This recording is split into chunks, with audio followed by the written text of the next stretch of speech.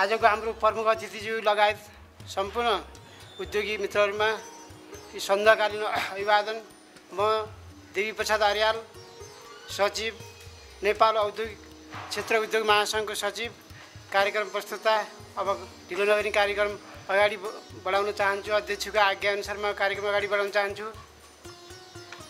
जुनसुकै कार्यक्रम सञ्चालन गर्नको लागि पनि सभापतिको आवश्यकता पर्ने हुँदा आजको यस नेपाल औद्योगिक क्षेत्र उद्योग महासङ्घको सोह्रौँ वार्षिक साधारण सभा तथा नवौँ अधिवेशन उद्घाटन समारोहको सभापतित्व गरिदिनु हुन यस महासङ्घको हाम्रो आदरणीय अध्यक्ष श्री देवराज तामाङजीलाई म अनुरोध गर्दछु।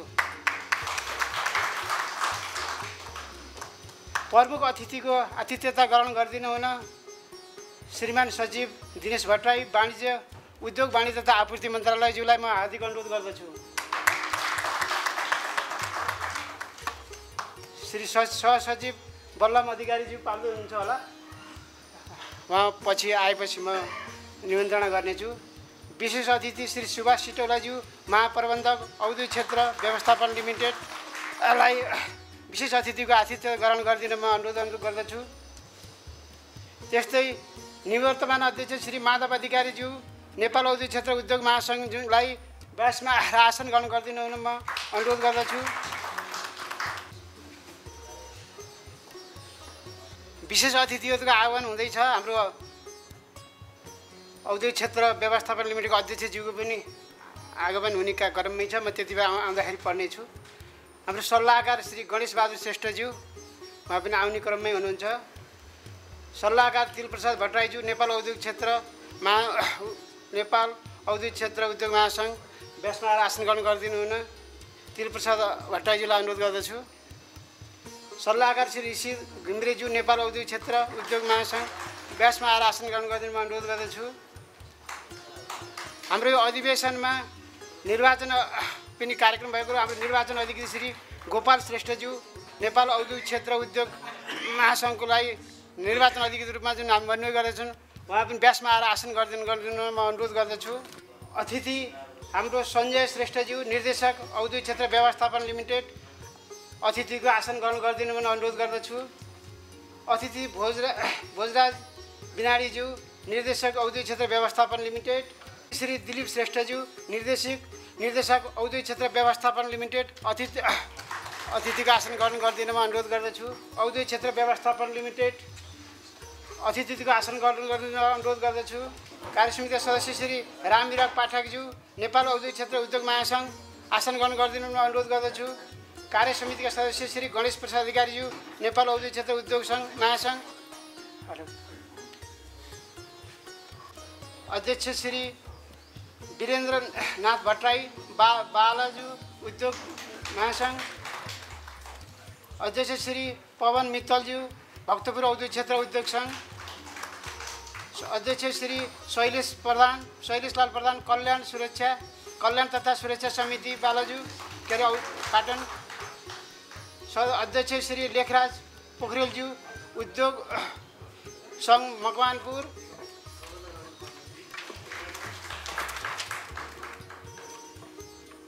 अध्यक्ष श्री सुरेश बहादुर श्रेष्ठज्यू पोखरा औद्योगिक क्षेत्र उद्योग सङ्घ। अध्यक्ष श्री हिरामणि भट्टराईज्यू फुटबल औद्योगिक क्षेत्र उद्योग सङ्घ। अध्यक्ष श्री राजेश मास्केज्यू नेपाल औद्योगिक नेपालगञ्ज औद्योगिक क्षेत्र उद्योग सङ्घ अध्यक्ष श्री कलाधार उपाध्यक्षज्यू उपा उपाध्यायज्यू वीरेन्द्रनगर औद्योगिक क्षेत्र उद्योग सङ्घ अध्यक्ष श्री मनमोहन श्रेष्ठज्यू घरान औद्योगिक क्षेत्र उद्योग सङ्घ अध्यक्ष श्री जीवाद यादवज्यू राजविराज औद्योगिक क्षेत्र उद्योग सङ्घ अरू सम्पूर्ण हाम्रा उपस्थित उद्योगी साथीहरूलाई यस्ता स्थानमा आसन ग्रहण गरिदिनु म एकमुष्ट अनुरोध गर्दछु। अब हाम्रो खादा तथा ब्याज वितरण कार्यक्रम छ।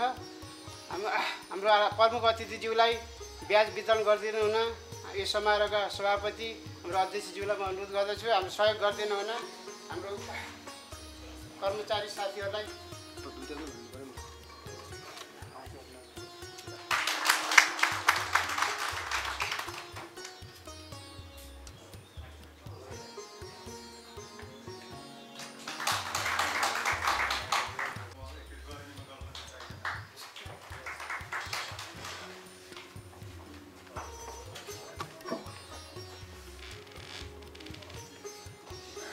हाम्रो निर्वाचन समितिमा तिनजनाको कार्य समिति थियो। मैले आतिथ्य गर्ने सवालमा एकजनाको मात्रै नाम गरेँ। त्यसको लागि म क्षमा पनि चाहन्छु। हाम्रो दुईजना किरण पौडेल र दिपक श्रेष्ठज्यू। किन अगाडिको अतिथिमा आएर आसनमा ग्रहण गरिदिनु हुन अनुरोध गर्दछु। राष्ट्रिय गानको कार्यक्रम छ। सम्पूर्ण उद्योगी मित्रहरू आफ्नो यथास्थानमा उठेर राष्ट्रिय गानमा सरिक भइदिनु हुन म अनुरोध गर्दछु।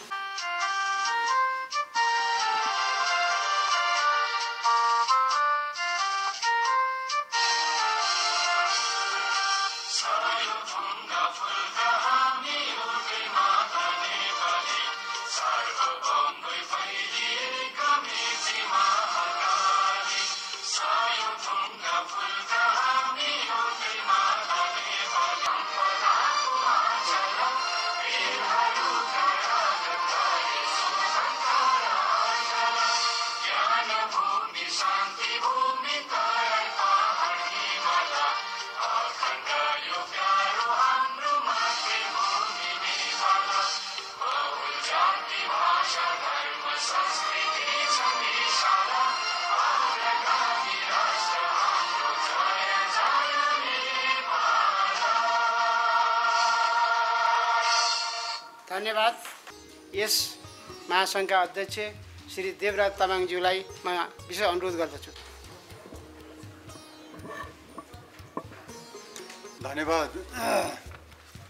कार्यक्रम सञ्चालक नेपाल औद्योगिक क्षेत्र उद्योग महासङ्घका सचिव देवी प्रसाद ज्यूलाई आजका यस नेपाल औद्योगिक क्षेत्र उद्योग महासङ्घको सोह्रौँ वार्षिक साधारण सभा एवं नवौँ अधिवेशनका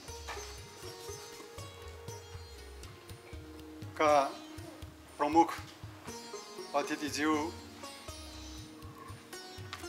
उद्योग वाणि उद्योग वाणिज्य तथा आपूर्ति मन्त्रालयका श्रीमान सचिवज्यू विशेष अतिथि औद्योगिक क्षेत्र व्यवस्थापन लिमिटेडका अध्यक्षज्यू अहिले आइपुग्नु नभएको हुनाले विशेष अतिथि औद्योगिक क्षेत्र व्यवस्थापन लिमिटेडका महाप्रबन्धकज्यू मलाई सधैँ मेरो नेतृत्वमा रहेको कार्य समितिलाई सधैँ सरसल्लाह र सुझाव दिनुहुने मेरो आदरणीय सल्लाहकारज्यूहरू र म सँगसँगै कार्य समितिमा रहेर काम गर्नुहुने मेरा आदरणीय पूर्व अध्यक्ष निवर्तमान अध्यक्ष माधव अधिकारीज्यू कार्य समितिका सदस्य साथीहरू र अधिराज्यभरिका उद्योग सङ्घबाट प्रतिनिधित्व गर्दै आफ्ना प्रतिनिधि साथीहरूलाई यो साधारण सभा र अधिवेशनमा भाग लिनलाई नेतृत्वदायी भूमिका निर्वाह गर्दै यहाँसम्म आउनुभएका दसैँवटा उद्योग सङ्घका अध्यक्षज्यूहरू र यो साधारण सभालाई सफल पार्न उपस्थित हुनुभएका मेरा उद्योगी सहयात्री मित्रहरू आज हामी सोह्रौँ वार्षिक साधारण सभा र नवौँ अधिवेशनको यो कार्यक्रममा उपस्थित भइरहेका छौँ। स्वाभाविक रूपमा वार्षिक साधारण सभा हाम्रो लागि हामी पेसा व्यवसायीहरूको लागि हामी उद्योगीहरूको लागि यो छलफलको एउटा सर्वोच्च मञ्च हो।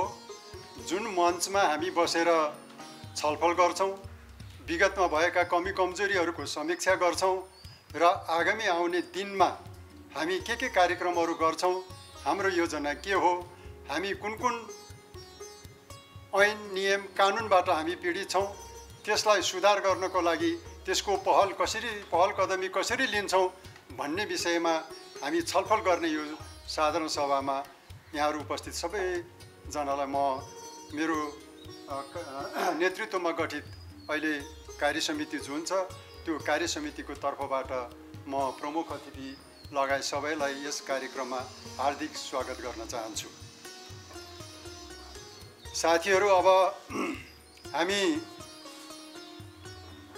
विश्वमै यो सङ्क्रमणको रूपमा देखिएको कोभिडबाट ग्रसित भइसकेका छौँ र त्यसले हाम्रो आर्थिक गतिविधिमा कस्तो असर पारे पारेको छ भन्ने विषयमा पनि हामी के अरे विज्ञ छौँ हामीलाई यसले कुन तहको पीडा दियो भन्ने विषयमा अब त्यो सर्वत्र त्यसको जानकारी भइसकेको छ।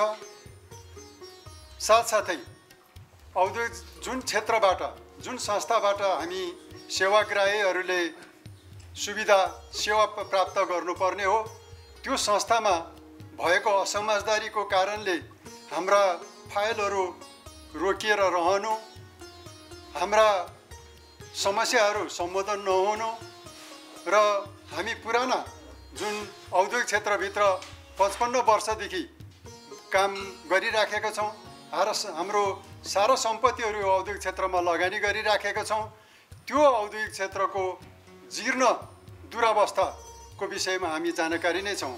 म श्रीमान सचिवज्यू पहिला उद्योग मन्त्रालयमै सहसचिव हुँदाखेरि पनि हामीले हाम्रो निवर्तमान अध्यक्षज्यूको सा वार्षिक साधारण कालको वार्षिक साधारण सभामा हामीले प्रमुख अतिथि बनाएकै थियौँ र त्यो कार्यक्रममा पनि हामीले यही कुराहरू गरेका थियौँ।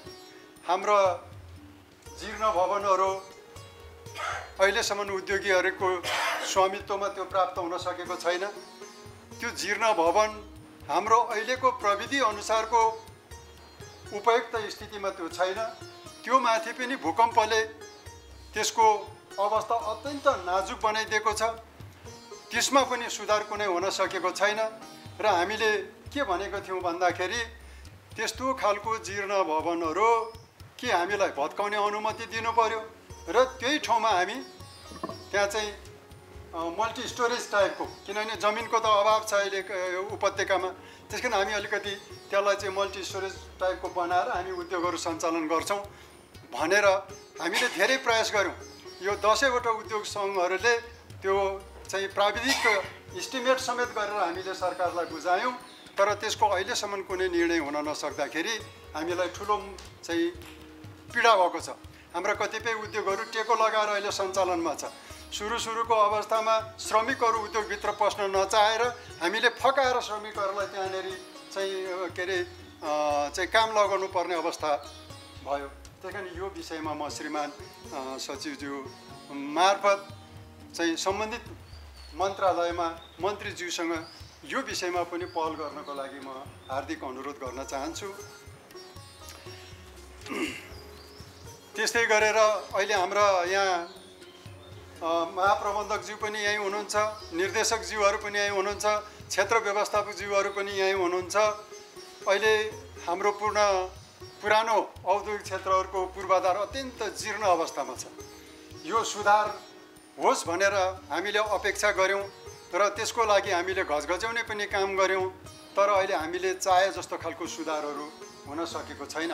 त्यही यो सुधार चाहिँ अत्यन्त छिटो गर्नुपर्ने पनि यहाँ देखिएको छ। यो विषयमा यहाँहरू सबै जानकारहरू नै हुनुहुन्छ। त्यस कारण योतिर पनि पहल चाहिँ हुन म यहाँहरूको ध्यान आकर्षित गराउन चाहन्छु। अर्को कुरा श्रीमान सचिवज्यूसँग म एउटा के पनि चाहिँ निवेदन गर्न चाहन्छु भने यो हामीले यो गोदाम यहाँ औद्योगिक क्षेत्रभित्र गोदाम पनि छ। यो गोदामलाई अहिले पछिल्लो चरणमा चाहिँ चालिस वर्षको सम्झौता गरेर त्यसमा उत्पादनमूलक उद्योग चाहिँ गर्नको लागि अनुमति दिएको छ। कतिपय गोदामहरू चाहिँ त्यता त्यो ठाउँमा चाहिँ उद्योगहरू चलाउने भनेर हामीलाई अनुमति दियो। तर यहाँ हजुरको त्यो गोदामको भाडा र उत्पादनमूलक उद्योगको भाडाको बिचमा चाहिँ त्यसलाई मिलाउन नसक्दाखेरि हामी कहाँ विवाद उत्पन्न भएको छ। के थियो भन्दाखेरि यता चालिस वर्ष उद्योगलाई चलाउन चाहिँ अनुमति दिनुभयो तर भाडा चाहिँ गोदामकै लगाइदिनु भयो त्यो गोदाम भनेको चाहिँ जम्मा दुई वर्षको लागि मात्रै सम्झौता हुन्छ र त्यो गोदामको चाहिँ भाडा बढी छ। तर यता चालिस वर्ष उद्योगलाई चलाउने अनुमति त दिनुभयो तर भाडा चाहिँ उत्पादनमूलक उद्योगले तिर्नुपर्ने भाडा चाहिँ नराखिदिएको नगरिदिएको हुनाले हामी कहाँ त्यो विवा- विवाद उत्पन्न भयो। त्यस कारण हामीले के मागिराखेका छौँ भने त्यो गोदामको जब चाहिँ दुई वर्षको मात्रै सम्झौता अवधि हुन्छ भने हामी कहाँ त चालिस वर्ष भएको छ। अनि चालिस वर्ष चलाउने उद्योगले प्रत्यक्ष अप्रत्यक्ष रूपमा सरकारको राजस्व त तिरिराखेकै हुन्छ। त्यही कारण त्यो भाडालाई मात्रै चाहिँ प्रमुख विषयवस्तु बनाउनु हुँदैन।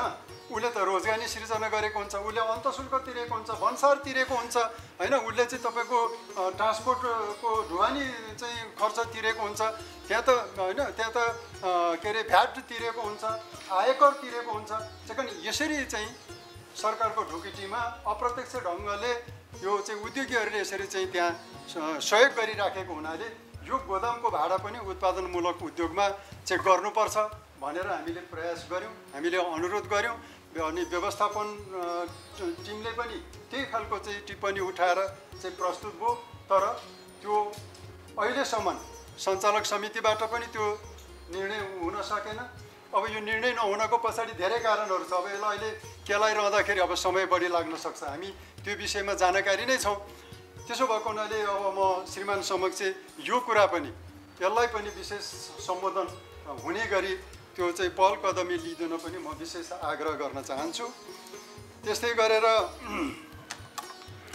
अब यो हामीले पुरानो चाहिँ कुराहरू जुन कुराहरू पहिला पनि हामीले उठाइराखेका थियौँ र त्यति के अरे तत्कालीन नेपाल सरकारले स्वदेशी उत्पादनहरूलाई चाहिँ पन्ध्र पर्सेन्ट बढी चाहिँ उसले टेन्डर बिट गर्यो भने पनि त्यसलाई स्वीकृत गरेर चाहिँ स्वदेशी उद्योगहरूको उपयोग गरिरहेको अवस्था थियो। तर अहिले क्रमशः अहिले हट्दै गएको छ र त्यो बिर्सिँदै गएको छ। त्यस कारण अहिले हामीले चाहिँ अनुरोध गर्न खोजेको कुरा के हो भन्दाखेरि अब चाहिँ कम्तीमा स्वदेशमा भएको उत्पादनहरूलाई सरकारी कार्यालयहरूले अनिवार्य रूपमा चाहिँ त्यसको प्रयोग गर्ने खालको कानुनी चाहिँ एउटा बाध्यकारी व्यवस्था बनाइदियो भने हाम्रो चाहिँ उत्पादनहरूले चाहिँ एउटा होइन गर्व गर्ने स्थान पनि त्यसले चाहिँ पाउन सक्छ। त्यसो भएको हुनाले त्यस्तो खालको एउटा कानुनी व्यवस्थाको पनि चाहिँ गर्न पर्ने देखिएकोले मैले श्रीमान समक्ष यो पनि निवेदन गरेँ। र अर्को साह्रै दुःखको कुरा हजुर यो अब अस्ति पनि हामीले सचिवज्यूसँग भेट्दाखेरि सामान्य एउटा सस कुरो के राखेको थियौँ भने अहिले यो दसवटा औद्योगिक क्षेत्र हामीसँग सञ्चालनमा छ। अब नयाँ औद्योगिक क्षेत्रहरू योसँग जोडिँदैछ। तर अहिले त्यो दसैँवटा मध्येमा पनि सबैभन्दा पीडा भएको चाहिँ भौदो के अरे भक्तपुर औद्योगिक क्षेत्र छ। जहाँ सङ्घीय सरकारको चाहिँ तपाईँको नियम कानुनहरू त्यहाँ लाग्दैन। होइन त्यहाँ चाहिँ नगरपालिकाको छुट्टै कानुन लाग्छ। अहिले हुँदा हुँदा त्यहाँका उद्योगीहरूलाई चाहिँ हटाउने नियतले त्यहाँको स्थानीय सरकार त्यहाँका जनप्रतिनिधिहरूले चाहिँ तपाईँको दैनिक जस्तो त्यहाँ चाहिँ एकदमै पीडा दिइरहेको अवस्था छ र छलफलमा बोलाउने अनि चाहिँ त्यहाँ जनप्रतिनिधिहरू मार्फत चाहिँ अनि उद्योगी साथीहरूको चाहिँ अपमान गर्ने अवैध व्यवहार चाहिँ त्यहाँ गर्ने त्यस्तो खालको शैलीहरू प्रयोग गर्ने काम त्यहाँ भइराखेको छ। अब यो विषय अहिले वर्तमान मन्त्रीज्यू अ, लाई पनि यो जानकारी भइसकेको छ गरिसके गराइसकेको छौँ र मन्त्रीज्यूले हाम्रै अगाडि फोन गरेर चाहिँ त्यहाँको जनप्रतिनिधिलाई चाहिँ भन्दा समेत पनि यो स्थिति चाहिँ अझै नर्मल हुन सकेको छैन सामान्य हुन सकेको छैन। त्यहाँ अझ मन्त्रीज्यूले त कतिसम्म पनि भन्नुभयो भने के अरे चाहिँ अब माननीयज्यू होइन के भौतिकपुर औद्योगिक क्षेत्रमा उद्योगै नचाहिने हो त तपाईँहरूलाई? यदि उद्योगै नचाहिने हो भने म सबै त्यो जिल्लाभरिको उद्योग चाहिँ अन्त लगिदिन्छु समेत उहाँलाई भन्दा पनि। अहिलेसम्म त्यो पोजिटिभ त्यसले चाहिँ कुनै सङ्केत हामीलाई प्राप्त भएको छैन। त्यही कारण यसको पनि त्यसलाई एउटा चाहिँ साधारण के अरे नर्मल अवस्थामा हाम्रा उद्योगीहरूले चाहिँ आफ्नो पेसा व्यवसाय उद्योग सञ्चालन गर्न पाउने जुन मौलिक अधिकार छ त्यसको ससम्मान चाहिँ त्यसलाई स्थापित गर्नको लागि पनि म श्रीमान समक्ष चाहिँ त्यो पहल कदमीको लागि आशा गर्दै यो निवेदन गर्न चाहन्छु। अर्को कुरा चाहिँ हजुर अब अहिले एकदमै ठिक ठाउँमा अहिले सचिवज्यू चाहिँ कार्यरत रहनुहुन्छ होइन उद्योग पनि वाणिज्य पनि छ। अहिले बजेट बनाउने अब बेला पनि छलफल पनि सुरु गर्ने बेला भइसकेको छ र विभिन्न ठाउँमा अहिले सुझाव पनि माग्ने कामहरू सुरु भइराखेका छ अहिले हजुर हामी कहाँ कस्तो अवस्था भयो भने हामीले कच्चा पदार्थ ल्याएर प्रयोग गरेर त्यो चाहिँ प्रोसेसिङ खर्च त्यसमा थप गरेर त्यही वस्तुलाई हामीले बजारमा लगेर चाहिँ बिक्री गर्नुपर्ने। कच्चा पदार्थ र तयारी इम्पोर्ट गरेर आउने सामानको भन्सार दर एउटै भएको कारणले हाम्रा उद्योगीहरूले बजारमा अहिले प्रतिस्पर्धा गर्न गाह्रो भयो। कतिपय उद्योगहरू अहिले त्यो समस्या भएको छ। होइन यो टेक्सटाइलको कुरामा यो लागु भएको छ। प्लास्टिकको चाहिँ इन्डस्ट्रीमा चाहिँ यो कुरा चाहिँ अहिले अप्ठ्यारो परिराखेको छ। यो प्याकेजिङ इन्डस्ट्रीमा अहिले हजुरको चाहिँ यो अप्ठ्यारो परिराखेको छ। त्यस अब आउने बजेटमा कम्तीमा यो भन्सार दरमा जब हामी भन्सार दरको छलफल गर्छौँ त्यतिखेर चाहिँ कम्तीमा यो विषयहरूलाई चाहिँ सम्बोधन गरेर हाम्रो उद्योगहरूलाई चाहिँ सहज रूपमा यो बजारमा प्रतिस्पर्धा गर्न सक्ने वातावरण चाहिँ बनाउनु पर्ने भएको हुनाले मैले श्रीमान सचिवज्यूलाई पनि यो अनुरोध गरेँ। र यो के अरे यो के अरे बजेटको सन्दर्भमा छलफल गर्दाखेरि चाहिँ कम्तीमा हाम्रो महासङ्घलाई पनि चाहिँ त्यो छलफलमा चाहिँ समावेश गर्ने र हामीले यो उद्योग मन्त्रालय अन्तर्गतको विभिन्न समितिहरूमा चाहिँ हाम्रो महासङ्घलाई पनि चाहिँ प्रतिनिधित्व गर्न पाउनुपर्छ भनेर अब पूर्व अध्यक्षज्यूहरूले पनि यो पहल गर्नुभयो। अब स्वयं मैले नै माननीय मन्त्री के अरे चाहिँ उद्योग मन्त्रीज्यूलाई पनि हामीले चाहिँ त्यो पत्र बुझाएको छौँ। अब राज्य मन्त्रीलाई बुझाएको छौँ सचिवज्यूहरूलाई बुझाएको छौँ। तर अहिलेसम्म अब मैले यहाँ नाम लिनुपर्ने हुन्छ। नवीन्द्र राज जोशी मन्त्रीज्यू हुँदा मात्रै हामीलाई चाहिँ हरेक कार्यक्रममा बोलाएर छलफल गर्ने काम गर्नुभयो तर त्योभन्दा बाहेक अनि महेश बस्ने महेश बस्नेज्यू मन्त्री हुँदाखेरि त्यो प्रक्रिया अगाडि बढ्यो तर अरू मन्त्रीज्यू हुँदाखेरि चाहिँ हामीले त्यहाँ सहभागी हुने मौका पाएनौँ। त्यसो भएको हुनाले म विनम्रतापूर्वक श्रीमान सचिवज्यूसँग यसको पनि चाहिँ त्यहाँ प्रतिनिधित्व हुने व्यवस्था सहित त्यो छलफलमा सुझाव लिने काम पनि सरकारको तर्फबाट विभागीय मन्त्रालयको तर्फबाट भइदियो भने हामी हाम्रो समस्याहरू त्यहाँ चाहिँ के अरे राख्न सक्छौँ। जुन सुझावले नेपाल सरकारलाई एउटा चाहिँ समुच समुच्च बजेट बनाउने कुरामा सहयोगै गर्छ भन्ने मलाई लाग्दछ। त्यतातिर पनि मैले श्रीमान सचिवजीको ध्यान आकर्षण गराएँ। अर्को चाहिँ हजुरको यो अब साथीहरूले मलाई बेला बेलामा फोन गर्नुहुन्छ। यो प्रदूषणको कारणले औद्योगिक क्षेत्रभित्र बस्ने उद्योगहरूलाई एक किसिमको मानसिक तनाव चाहिँ अहिले दिइराखेको अवस्था छ। अब औद्योगिक क्षेत्र भनेको स्वाभाविक रूपमा प्रदूषण हुने ठाउँ नै हो। अब अहिले हामी चाहिँ सहरको बिचमा औद्योगिक क्षेत्र परिसकेको छ। तर जुन बेला यो औद्योगिक क्षेत्रको कल्पना गरियो त्यो बेलामा यहाँ वरिपरि काहीँ मानव बस्ती नै थिएन। त्यस कारण अब यो हामी उद्योगीहरूको गल्ती हो कि यो चाहिँ प्लानरहरूको गल्ती हो। होइन जहाँ यो उद्योग औद्योगिक क्षेत्र बनाउने त्यसको वरिपरि चाहिँ तपाईँको चाहिँ बस्ती विकासको लागि चाहिँ स्वीकृति दिने हो भने त अहिले अब कल्पना गरिएको र अहिले शिलान्यास गरिएको हजारौँ बिघामा पनि त भोलि यो आउन समय के अरे यो समस्या त आउन सक्छ।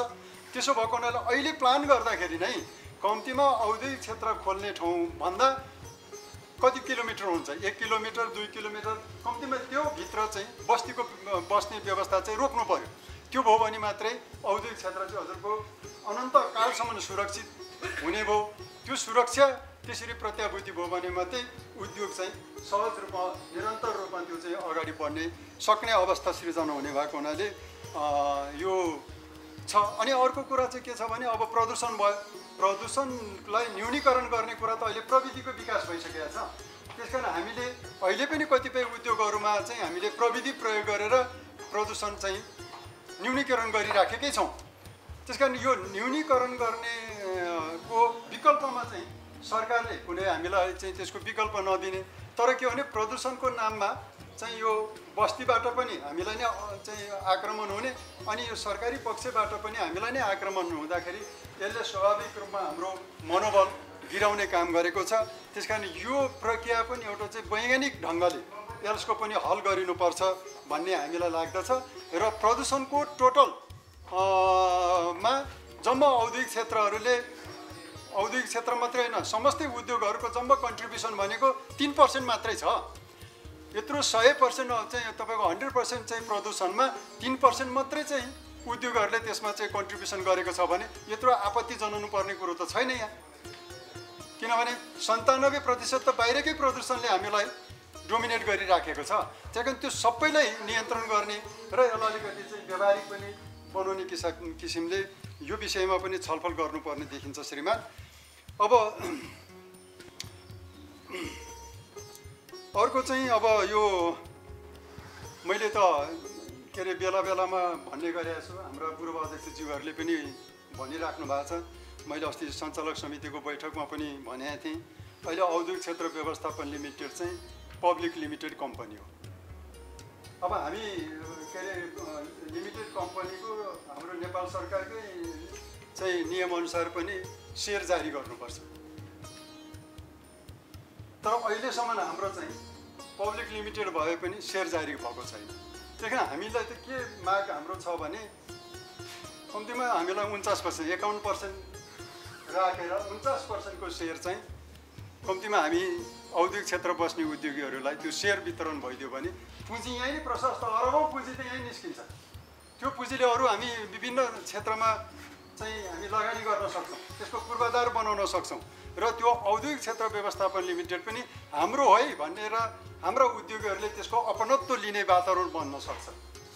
होइन? अब त्यो उन्चास पर्सेन्टमा त्यहाँ होला कर्मचारीको पर्सेन्ट घटाउन बाँकी छ पब्लिकमा पनि जानुपर्ने हुन्छ जस्तो अब चाहिँ के अरे तिन चार पर्सेन्ट चाहिँ कर्मचारीलाई सेयर बाँड्ने पन्ध्र पर्सेन्ट पब्लिकमा जाने तिस पर्सेन्ट मात्रै हामीलाई दियो भने पनि चाहिँ एउटा ठुलो धनराशि यहीभित्र उठ्ने भएको हुनाले यतातिर पनि अब छलफल अगाडि बढाउनु पर्छ कि भन्ने चाहिँ हाम्रो चाहिँ भनाइ छ। म त्यतातिर पनि चाहिँ ध्यान आकर्षित गराउन चाहन्छु। अरू थुप्रै विषयवस्तुहरू चाहिँ यहाँ छ। अब श्रीमान सचिवज्यू धेरै जानकार हुनुहुन्छ।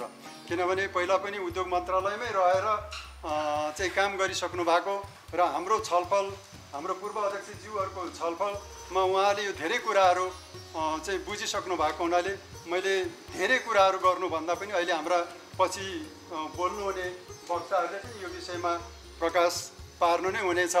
त्यसो भएको हुनाले मैले धेरै कुरा नराखिकन आज हाम्रो अलिकति थुप्रै काम पनि छ। अहिले निर्वाचन परिणाम पनि घोषणा गर्नु छ। निर्वाचन निर्वाचित सदस्यहरूलाई हामीले शपथ पनि खुवाउनु पर्नेछ होइन यहाँ हाम्रो चाहिँ अहिले सम्मानित हुनुहुनेहरूलाई सम्मान पत्र पनि वितरण गर्नुपर्नेछ। त्यसो भएको हुनाले म यो कार्यक्रममा आफ्नो व्यस्तता हुँदाहुँदै पनि श्रीमान सचिवज्यू विशेष अतिथिज्यूहरू चाहिँ आएर हाम्रो कार्यक्रमलाई चाहिँ एउटा हाम्रो मनोबल बढाउने काममा जुन समय दिनुभयो त्यसको लागि म एकदमै भित्री हृदयदेखि म प्रशंसा गर्छु र यो कार्यक्रममा म सबैलाई स्वागत पनि गर्न चाहन्छु। धन्यवाद। नमस्कार। अब हाम्रो उद्घाटनको कार्यक्रम छ। पानसमा बत्ती बालेर उद्घाटन गरिदिनु हुन आजका प्रमुख अतिथिज्यूलाई म अनुरोध गर्छु र साथै सहयोग गरिदिनु हुन हाम्रो अध्यक्षज्यू लगायत हाम्रो साथीहरूलाई म अनुरोध गर्दछु।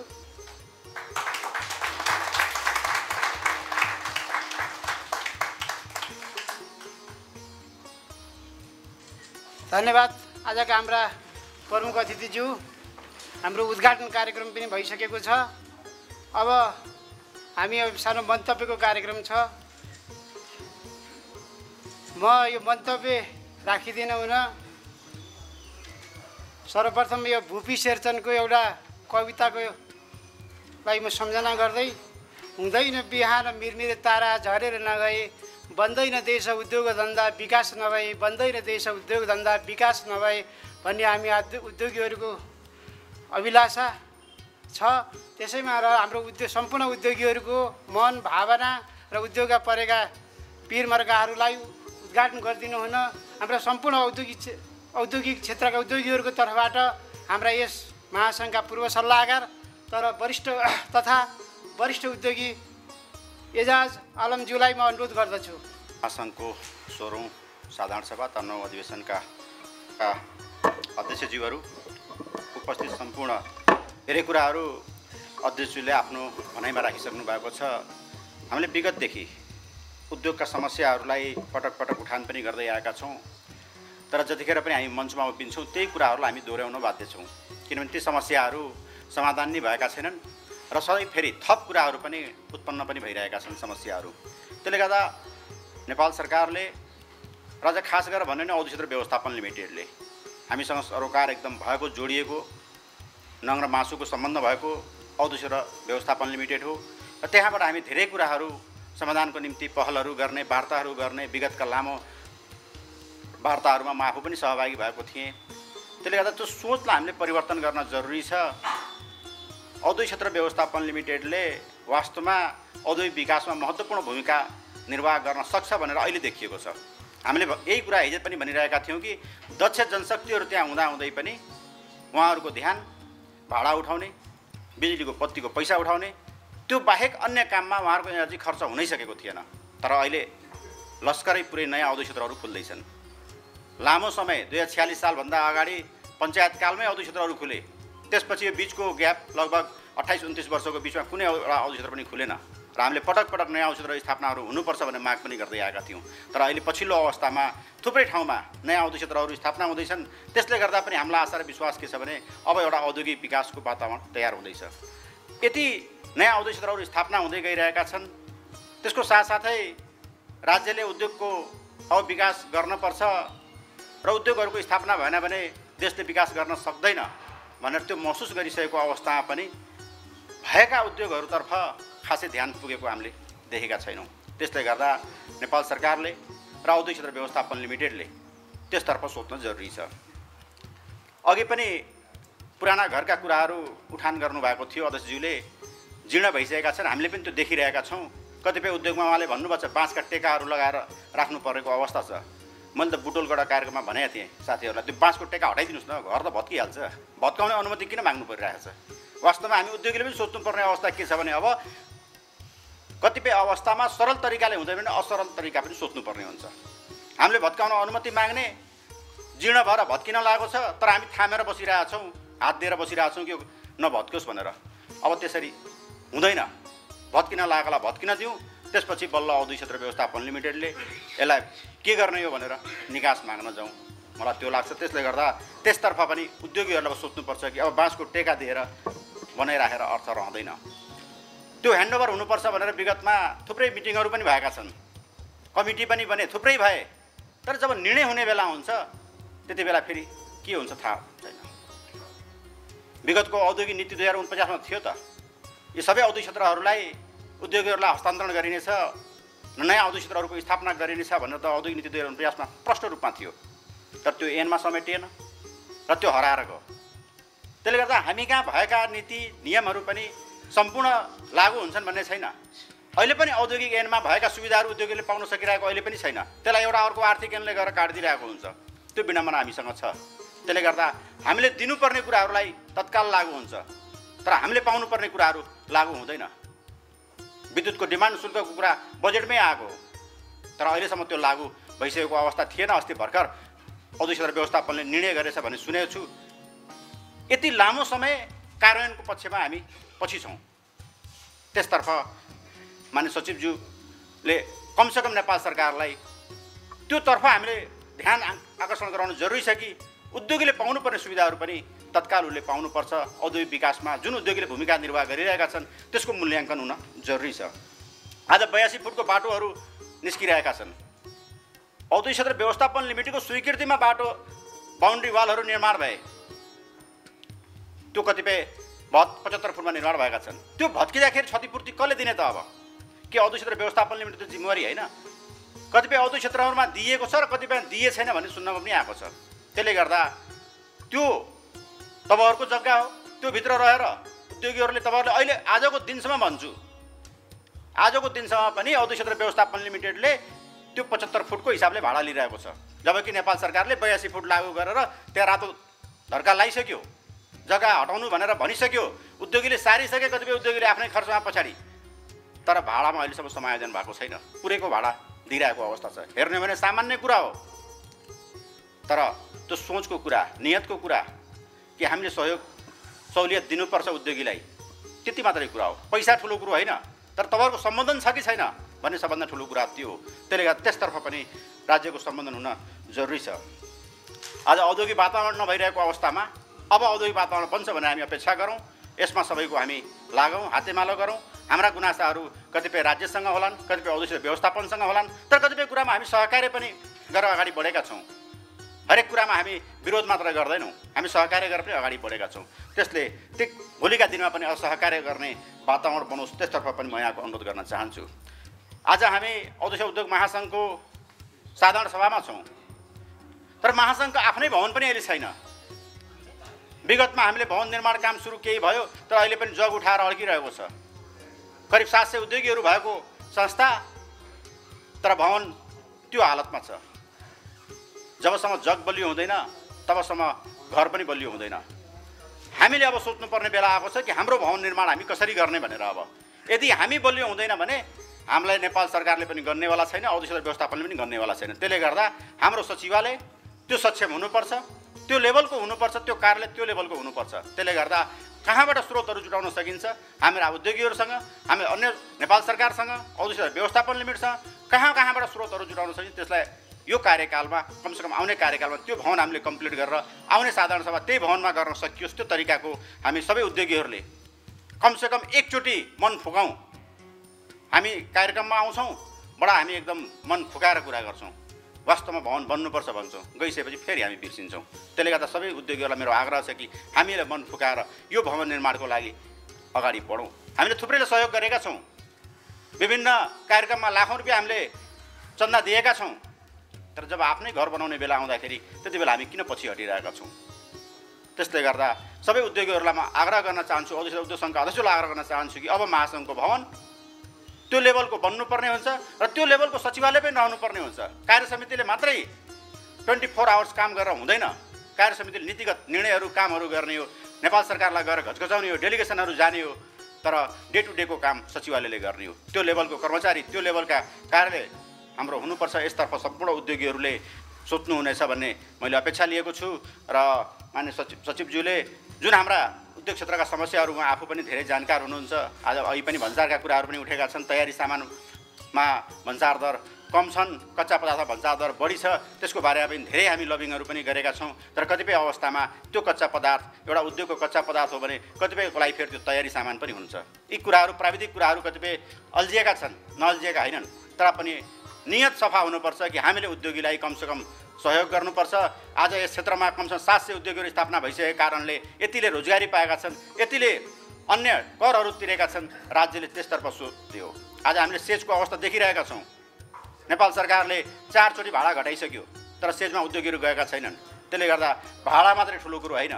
अहिलेसम्म हामीले देखेको भाडाकै विवाद सधैँ भाडाको लडाइँ अहिले पनि पत्र गइरहेछ कति सय पर्सेन्ट भाडा वृद्धि गरेर भनेर गइरहेका छन्। त्यस्ता कुराहरूलाई औद्योगिक व्यवस्थापनले लिमिटेडले सोध्नुपर्ने हुन्छ।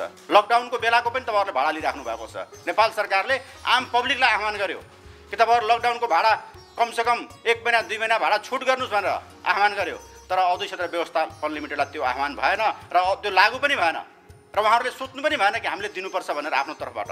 त्यसले गर्दा हेर्दा कुराहरू सानसाना छन् तर कमसेकम यति मात्रै के हो भने तपाईँहरू उद्योगप्रति पोजिटिभ भइदिनुहोस्। यो वास्तवमा यी उद्योगहरूले सकारात्मक सोचिदिनुहोस् कि यति योगदान गरेका छन्। यो नसोचिदिनुहोस् कि हिजो आएका थिए उद्योगीहरू चप्पल लाएर आज त कार लिएर हिँडेछन् भन्ने कुराहरू पनि सुनिन्छ। तपाईँहरूले भन्नुहुन्छ। तर वास्तवमा त्यो होइन। त्यो कार चढ्ने हैसियतमा पुग्दाखेरि पनि उसको श्रम त्यहाँ लगानी भएको छ। आज बाहिरका उद्योगीहरूले पच्चिस वर्षभन्दा अगाडि लिएका जग्गा लिएर बाहिर उद्योग गर्नेहरू आज अरबपति भइसकेका छन्। तर भित्रका जहाँका थिए त्यहीँ छन् अहिले पनि। किनभने त्यसको जग्गाको कुनै भ्यालु छैन। तर बाहिर यो सानो रकमले लगानी गरेका जग्गाहरू आज करोड अरबमा सम्पत्ति भइसकेका छन्। उद्योग टाँट पल्टे पनि त्यो जग्गाले त्यसलाई धानी धान्ने अवस्थामा पुगिसकेका छन्। तर औद्योगिक क्षेत्रभित्रको अवस्था त्यो छैन। आज हाम्रा भएका मिसिनहरू आज भवनहरू राखेर कुनै ब्याङ्कले लगानी गर्न खोज्दैन।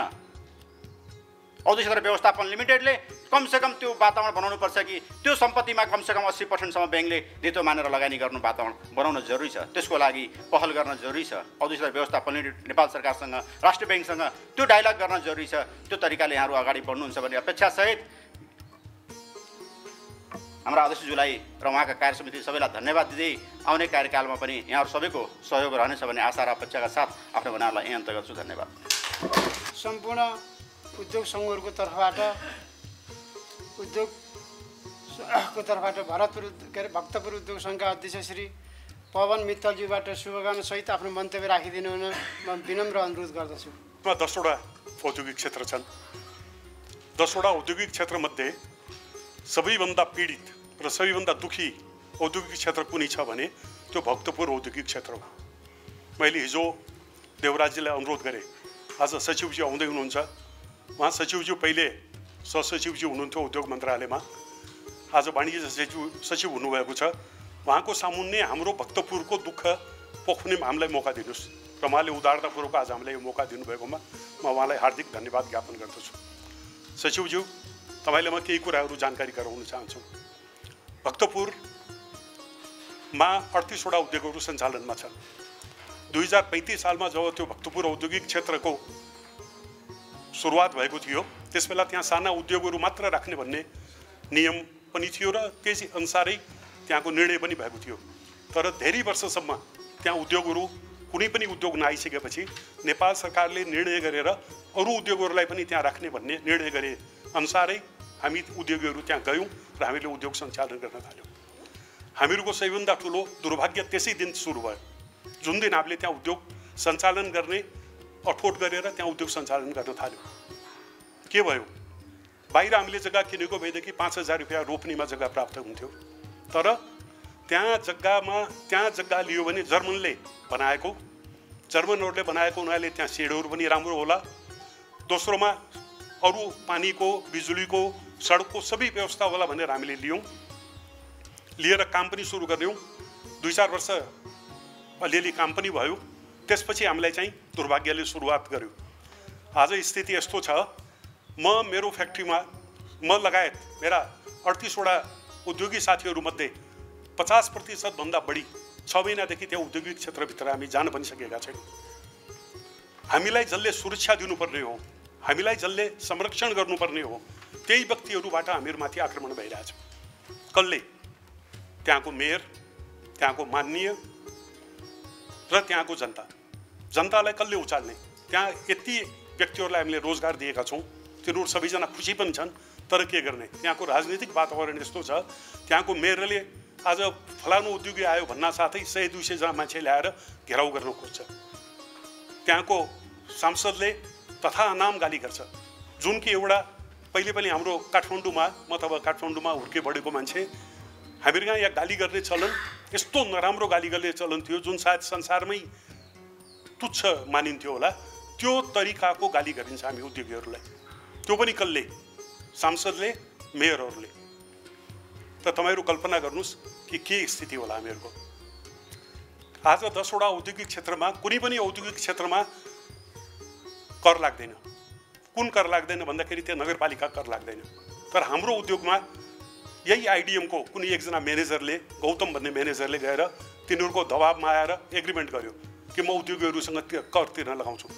आज हामी दसौँ बाह्रौँ वर्षदेखि नौवटा उद्योग सङ्घले चाहिँ तिर्नु नपर्ने उद्योग क्षेत्रले तिर्नुपर्ने नपर्ने तर हामीले तिरिरहेका छौँ। तिरिरहेकोमा पनि नेपाल सरकारले एउटा नियम बनाइदिएको छ कानुन पनि छ नीति पनि छ। उद्योग हेरिकन तिन हजारदेखि दस हजार रुपियाँसम्म कर लिन सक्ने भनेर। स्पष्ट नियम छ। तर तिनीहरूले सुरुमा हामीलाई तिन हजारदेखि दस हजारभित्रै लिए त्यसपछि चाहिँ एकैचोटिमा तिस हजार पचास हजार साठी हजार लाख लाख रुपियाँसम्म कर लगाइदियो। अब हाम्रो अनुरोध के भने तपाईँको कानुन नियमअनुसार एउटा त उद्योगको स्थिति यस्तो खराब बिजुलीको व्यवस्था छैन पानी त्यहाँ छँदै छैन त्यो जम्मै हुँदा हुँदै पनि तपाईँले नेपाल सरकारको जुन कानुन र नीति छ त्यो नीतिअनुसार दस हजारभित्र तपाईँले कर लगाउनुहुन्छ भने हामी दिन्छौँ। भन्दाखेरि पनि उनीहरूले मान्नुभएको छैन। त्यही न्युले गर्दाखेरि अहिले आएर विगत तिन चार वर्षदेखि हामीहरूलाई त्यहाँ पर्यावरणको प्रब्लम कहिले आवाजको प्रब्लम कहिले के प्रब्लम कहिले के प्रब्लम भनेर यति यति दुःख दिइरहेको छ त्यसको कुनै भनेर साध्य नै छैन। अब म यो कुरालाई धेरै पटक यो ठाउँबाट भनि पनि सकेँ तर आजसम्म हाम्रो कुनै पनि सुनवाई हुन सकेन। त्यसपछि मैले नै दसैँवटा औद्योगिक क्षेत्रका उद्योग सङ्घका अध्यक्षज्यूहरूलाई एकदम अनुरोध गरेँ। अब हामीले तपाईँहरूले मलाई हामीलाई चाहिँ भक्तपुरको एकजना उद्योगीलाई अध्यक्ष बनाइदिनु पऱ्यो हामीहरूको दुःख ठिक छ उहाँ अध्यक्षहरूले सुन्नुभएको छ उहाँहरूले कोसिस पनि गर्नुभएको हो। तर जबसम्म हाम्रो उद्योगकै हाम्रै भक्तपुरको एकजना उद्योगी अध्यक्ष हुँदैन तबसम्म हाम्रो दुःखको दूरी हुँदैन भनेर मैले अनुरोध गरिसकेपछि उहाँहरूले सदाशयतापूर्वक आज रामिरा पाठकजीलाई अध्यक्षको लागि सम समर्थन गर्नुभएको छ। कतिसम्म हामीहरूसँग गद्दारी भएको छ भन्ने कुरा तपाईँले कल्पना पनि गर्न सक्नुहुन्न। औद्योगिक क्षेत्र व्यवस्थापन लिमिटेड भक्तपुरमा रहेको अडतिसवटा उद्योगको फाइलहरूको जम्मै फोटोकपी मेयरसँग र सांसदसँग पुर्याइएको छ। यसको के मतलब हो? किन पुर्याइयो? हामीलाई थाहा छैन मेरो उद्योगको कहिले रिन्यू फेल हुन्छ। त्यो सांसदले भन्छ तिम्रो उद्योगको यो मितिमा रिन्यू फेल हुनेवाला छ। अब तिम्रो कसरी रिन्यू हुन्छ म हेर्छु भनेर भन्छ। यसको मतलब? त्यो म्यानेजर त्यहाँको त्यो कुनै प्रबन्धक या जो पनि छ त्यो हाम्रो हामीहरूलाई राम्रो गर्नको लागि बसेको हो कि हामीहरूलाई नराम्रो गर्नको लागि त्यहाँ बसेको हो? अडतिसवटा फाइलको उसले दिएको छ लगेर त्यहाँ बुझाएको छ। कसले बुझायो त? अहिले पन्ध्र दिन अगाडि सचिवज्यू म तपाईँ मार्फत नेपाल सरकारले म अनुरोध गर्न चाहन्छु पन्ध्र दिन अगाडि सिडिओ साहबले फोन गर्नुभयो। उद्योगीहरू आएर यहाँ मलाई भेट्न आउनु पऱ्यो भनेर।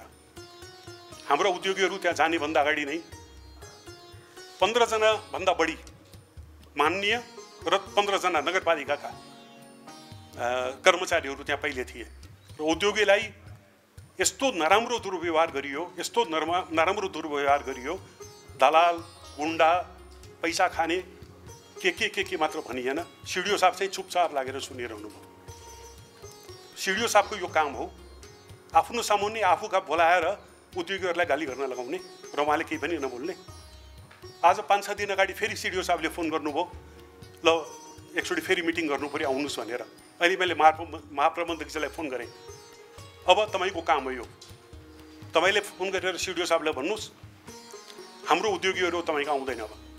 तपाईँलाई यदि कुरा गर्नु छ भने गृह मन्त्रालयमा तपाईँ पनि आउनुहोस्। हाम्रो उद्योगीहरू पनि त्यहीँ आउँछ त्यहीँ हामी आएर कुरा गर्छौँ। तपाईँको सिडिओ कार्यालयमा आएर हामी कुरा गर्दैनौँ। गाली सुन्नलाई आउने हामी। अहिले पाँच सात दिन अगाडि हामीहरू त्यहाँ जाने भनेर विचार गर्दैथ्यौँ यो आजको साधारण सभाको आतिथ्य भक्तपुरले गरेको छ। हामी भक्तपुरमै किन नगरौँ भनेर हामीले विचार गरेर त्यहाँ जाने विचार गरेका थियौँ। त्यहाँको सुरक्षा निकायको व्यक्ति सुरक्षा निकायको अधिकारीहरूसँग कुरा गर्दाखेरि तपाईँहरू बिल्कुल नआउनु होला तपाईँहरू आउनुभयो भने तपाईँहरूमाथि भौतिक आक्रमण समेत हुनसक्छ भन्ने कुरा आएको छ।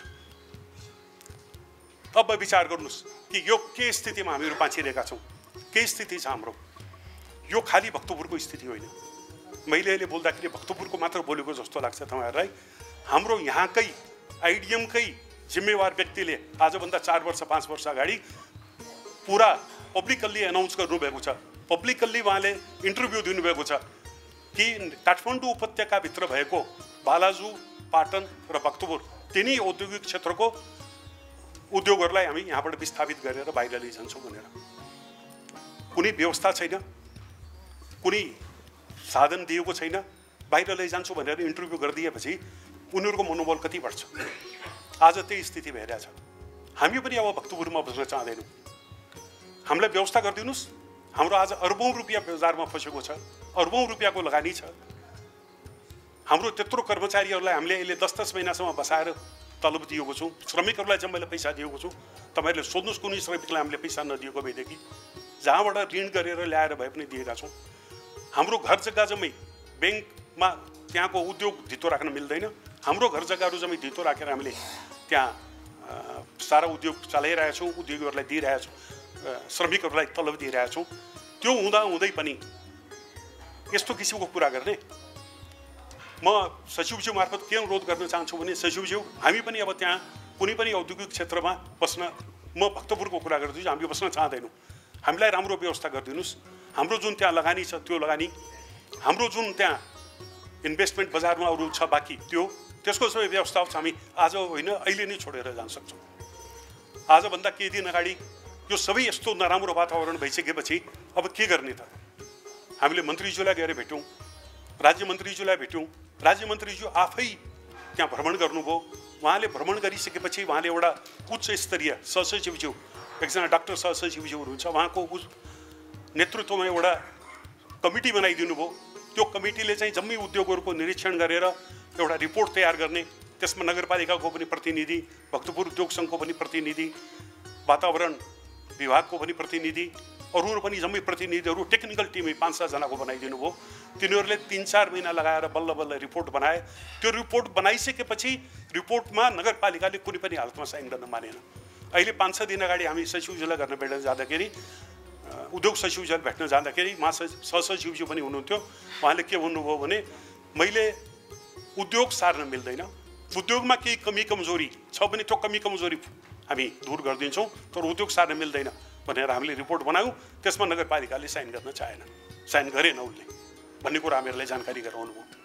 भनेपछि भक्तपुर आजको भक्तपुर आजको दिनमा नेपाल होइन त्यो। त्यो छुट्टै एउटा अर्को देश हो। त्यो नेपालभित्र पर्दैन। त्यहाँ नेपाल सरकारको कसैको केही पनि चल्दैन। प्रधानमन्त्रीज्यूको हामीले कुरा पुर्याइसक्यौँ। अर्थमन्त्रीजीका कुरा पुर्याइसक्यौँ। मन्त्रीज्यूका कुरा पुर्याइसक्यौँ। अरू कसका पुर्याउने अब? अब राष्ट्रपतिज्यूको एकजनाको पुर्याउनु बाँकी छ।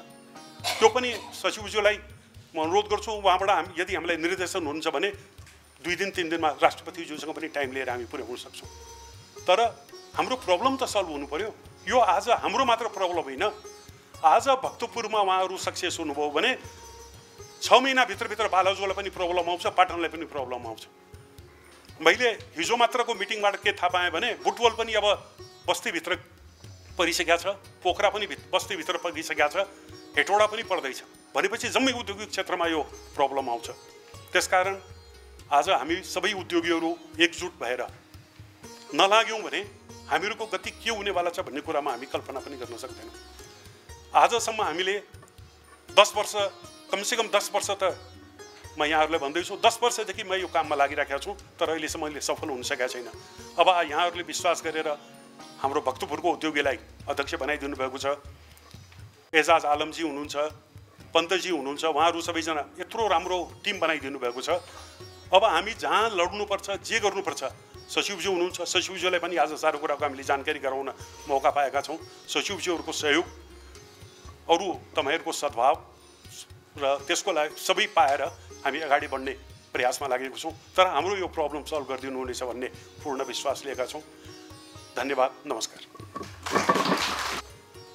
अब शुभकामनाकै मन्तव्य गरमा हाम्रो आजको विशेष अतिथि औद्योगिक क्षेत्र व्यवस्थापन लिमिटेडका महाप्रबन्धक जसले हाम्रो फिफ्टी पर्सेन्टभन्दा बढी त उहाँकै हातले हाम्रो समस्या समाधान गर्ने क्षमता पनि राख्नुहुन्छ। बाँकी रहेका सम्बन्धित निकाय पर्ने क्षमता पनि उहाँले राख्नुहुन्छ। र हाम्रो सामु हुनुहुन्छ उहाँले आफ्नो शुभकामना मन्तव्य राखिदिनु म विनम्र अनुरोध गर्दछु। भन्नुभन्दा पनि छोटकरीमा दुई चारवटा कुराहरू भन्न चाहन्छु। सबै उठाएका कुराहरू उठाएका कुराहरूमा आइडिएमलाई सबै कुरा थाहा छ र त्यो गर्ने हाम्रो प्रतिबद्धता पनि हो तर कतिपय कुराहरूमा हामीले गर्न चाहेर पनि गर्न नसकेका कुराहरू छन् त्यो मैले कमिट गर्नै पर्छ। तर एकैचोटि समस्याका समाधान भएनन् भनेर हामीले हरेस खानु भने हुँदैन। म तपाईँहरूलाई भन्छु म आएपछि मैले सबभन्दा पहिलो केस हेरेको भक्तपुरलाई हो जहाँ चाहिँ एक लाख रुपियाँ पनि बजेट दिएको रहेनछ तर म आए पछाडि के भनेदेखि तपाईँको? म आए पछाडि त्यहाँको सबभन्दा पहिलो प्राथमिक कुरा चाहिँ त्यहाँको ढल भएको हुनाले मैले एक करोड दस लाख रुपियाँ त्यहाँ ढलको निम्ति मैले एलोकेट गरेर त्यहाँ ढलको व्यवस्था भएको छ। र त्यस पछाडि त्यो ढलबाट पनि समस्या समाधान नहुने भयो भनेर बाहिरपट्टि अठार लाख रुपियाँ चाहिँ के भनेदेखि त्यो पनि बाहिर जोड्ने के भनेदेखि भएको हुनाले हामीले अठार लाख रुपियाँ पनि बाहिर जब कि हामीले गर्न मिल्दैन थियो होला तर उद्योगीहरूको समस्या समाधान हुन्छ भनेर मैले त्यसमा पनि पहल गरेका छु होइन? र अब बाटोको छ भक्तपुरमा बाटो राम्रो छैन अब आउँदो ढल बनिसकेपछि अब भक्तपुरमा बाटोको पनि म आउँदो बजेटमा चाहिँ राखेर के भनेदेखि उ गर्छु भन्ने कुरामा म विश्वस्त छु। र दुवैतर्फ चाहिँ इमान्दार हुनुपर्छ है। एउटा आइडिएमलाई मात्रै सबै कुरा दोष थोपरेर उद्यमीहरू चाहिँ हामी यसबाट चोखो छौँ भनेर भन्न चाहिँ मिल्दैन। त्यो चाहिँ दुवैतर्फ सबै इमान्दार भएर लाग्यौँ भने डेफिनेटली औद्योगिक क्षेत्रभित्रका समस्याहरू चाहिँ समाधान हुन्छन्।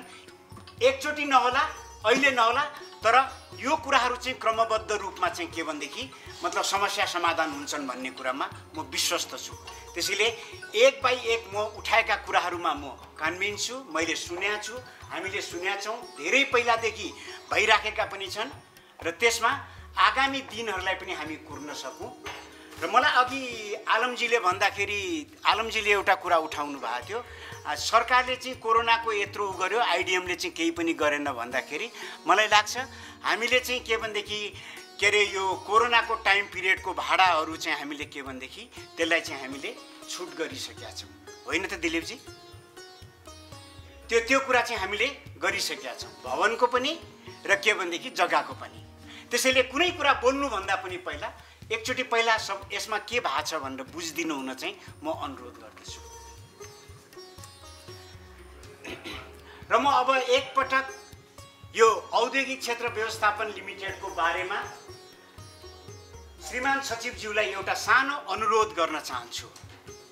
नेपाल औद्योगिक नेपाल भरिका दसवटा औद्योगिक क्षेत्रहरूमा सात सयवटा उद्योगहरू चाहिँ सञ्चालित छन् र त्यो सात सयवटा उद्योगहरूले करिब बिसदेखि पच्चिस अरब रुपियाँ चाहिँ नेपाल सरकारलाई ट्याक्सको रूपमा बुझाउँछन्। त्यो हाम्रो रेकर्डमा हामीले निकालेका छौँ। र मैले बारम्बार मैले के मात्रै भनिराखेका छु भनेदेखि हामीलाई कमसेकम सात बिसदेखि पच्चिस अरब जुन हामीले तिर्छौँ त्यसमध्ये एकदेखि दुई पर्सेन्ट मात्रै। हामीलाई नेपाल सरकारले अनुदानको रूपमा होइन तिमीहरू चाहिँ यसको मेन्टेनेन्सको कामहरू चाहिँ गर भनेर दियो भनेदेखि हामीलाई त्यसको चाहिँ महिनाको वर्षको हामीलाई तिस चालिस पचास करोड प्राप्त भयो भने हामी औद्योगिक क्षेत्रलाई नेपालको संसारका अरू औद्योगिक क्षेत्रहरूको जस्तै हामी पनि राम्रो रूपमा विकसित गरेर अगाडि बढाउन सक्छौँ भन्ने कुरामा म विश्वस्त छु। र म श्रीमान सचिवज्यूलाई यस यस कुराको लागि आउँदो बजेटमा यो कुरा पनि के अरे सहानुभूतिपूर्वक उठाइदिन म हार्दिक अनुरोध गर्दछु। र अर्को कुरा हामीले कमसेकम सात सयवटा उद्योगहरूबाट हामीले मिनिमम रूपमा बिसदेखि बाइस हजार मान्छेहरूलाई मतलब इम्प्लोइमेन्ट दिइराखेका छौँ र एउटा मान्छेले इम्प्लोइ इम्प्लोइमेन्ट दिएको आधारमा चारदेखि पाँच हजार उसको परिवार आश्रित छ भनेदेखि त्यो चाहिँ करिब एक लाख मान्छेहरू त्यो परिवारमा आश्रित भएर बसिराखेका छन्। त्यस पछाडि तपाईँले यदि इन्डाइरेक्ट रूपमा हेर्नुभयो भनेदेखि यो त डाइरेक्ट इम्प्लोइमेन्टको कुरा आयो।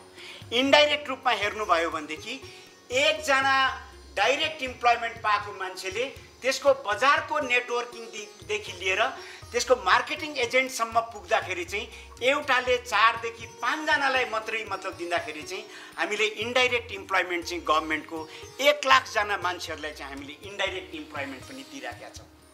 यो कुरा पनि नेपाल सरकारले सहानुभूतिपूर्वक हेरिदियोस् र औद्योगिक क्षेत्र व्यवस्थापन लिमिटेडलाई एउटा उसका जुन कन्सटेन्टहरू छन् उसका जुन अहिले हामीले भाडा मतलब हामीले जुन लिएर उठाइराखेका छौँ उद्योगपति साथीहरू तपाईँहरू छातीमा हात राखेर भन्नुहोस् हामीले तपाईँहरूलाई बालाजु औद्योगिक क्षेत्रमा अहिले सोह्र हजार पाँच सय रुपियाँ लिएर के भनेदेखि तपाईँहरूलाई हामीले वर्षभरिको एक रोपनी जग्गा दिएका छौँ अनि तपाईँ त्यही पैसाबाट सबै चिज आइडिएमले गरिदियोस् भनेर भन्ने तपाईँहरू राख्नुहुन्छ भने त्यो पनि तपाईँहरूको असमझदारी हो।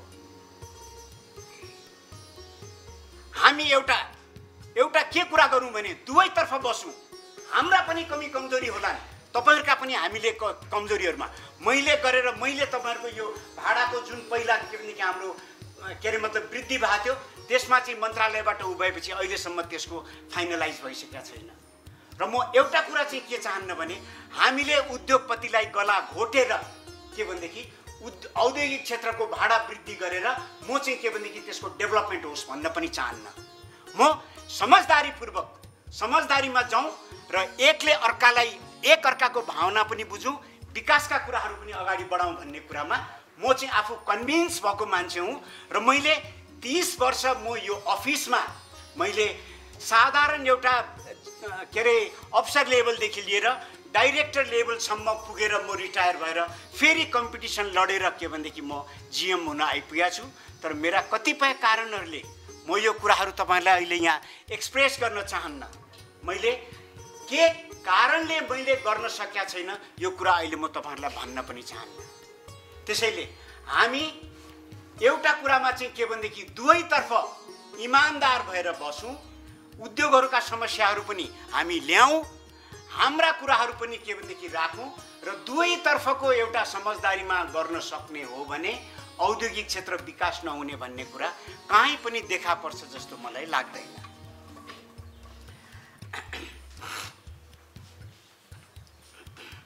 र अघि उद्यमी साथीहरूले नै उठाउनु भयो कि हिजो उद्योगपति आएर साइकल चढेर आएको थियो अहिले कार चढेर हिँड्दाखेरिको हामीलाई चाहिँ के भनेदेखि हामीलाई त्यो रूपमा ईर्ष्याको रूपमा नहेरियोस् भनेर।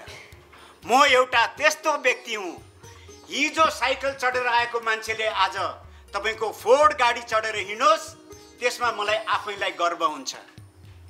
र तपाईँ आज फोर्ड गाडी चढ्दै हुनुहुन्छ भने भोलि तपाईँले बेङ्क चढेर हिँड्नुभयो भने मलाई अझ त्यो माथि गर्व हुन्छ। कि नेपालमा उद्यमीहरूले पनि गरिराखेका छन् भनेर। तर त्यसको निम्ति तपाईँले पनि राज्यलाई दिनुपर्ने कुराहरू चाहिँ तपाईँले पनि छातीमा हात राखेर मैले यसमा चाहिँ चोरी गरेका छु र म यहाँबाट फोर्ड कार चढेरबाट मर्सिडिज बेन्च चढिराखेका छु भन्ने चाहिँ तपाईँमा पनि त्यो एउटा ग्लानी चाहिँ नहोस् भन्ने कुरा म तपाईँलाई भन्न चाहन्छु। बेन्च चढ्नुहोस्। मलाई अझ गर्व हुन्छ म तपाईँलाई भन्छु म तिस वर्ष के भनेदेखि सेवा गरेर म अफिसबाट रिटायर भएर हुँदाखेरि मैले स्कुटर चढेर हिँडेको छु तर पनि मलाई एउटा आत्मग्लानी भन्ने केही छैन। बुझ्नुभयो? मलाई त्यसमा गर्व छ। किनभने मैले मेरो खुन र पसिनाले गाडी चढ्न सक्थेँ कि सक्दिनँ थिएँ मेरो परिवारको कुराले त्यो छुट्टै कुरा छ। तर म स्कुटर चढेर हिँड्दा पनि मैले मेरो आइडियमलाई गलत नगरिकन म एउटा स्कुटर चढेर हिँडेको छु भन्ने कुरामा मलाई गर्व छ। त्यो चाहिँ म जहाँ पनि भन्न सक्छु। र मैले यति पनि भन्छु आजसम्म मलाई कसैले पनि यो मान्छेले यहाँनिर फाइनेन्सियल रूपमा यो मान्छे चुक्यो भनेर भन्यो भने म जेनरल म्यानेजरबाट आजको अहिले एक मिनट पनि नबसिकन म रिजाइन गर्न म आफू तत्पर हुन्छु। त्यसमा म ढुक्क छु। तपाईँहरू पनि ढुक्क हुनुहोस्। भक्तपुर औद्योगिक क्षेत्रको कुराहरूमा गर्दाखेरि मैले विगत धेरै समयदेखि मैले मेरो मन्त्रालयमा मैले हुन सक्ने कुराहरूमा मैले आफूले मतलब पहल गरिराखेकै छु। र एउटा अघि हाम्रो पवनजीले उठाएको कुरामा म केमा पनि कन्भिन्स छु भनेदेखि भक्तपुर चाहिँ एउटा अलिकति छुट्टै रूपमा मतलब विकसित भएको ठाउँ हो कि भन्ने कुरा चाहिँ हामीलाई पनि अनुभूति भएको छ। राजनीति आफ्नो ठाउँमा छ तर राजनीतिले विकासलाई अधोगतितिर नलैजाओस् भन्ने कुरा चाहिँ मेरो एउटा विनम्र अनुरोध छ।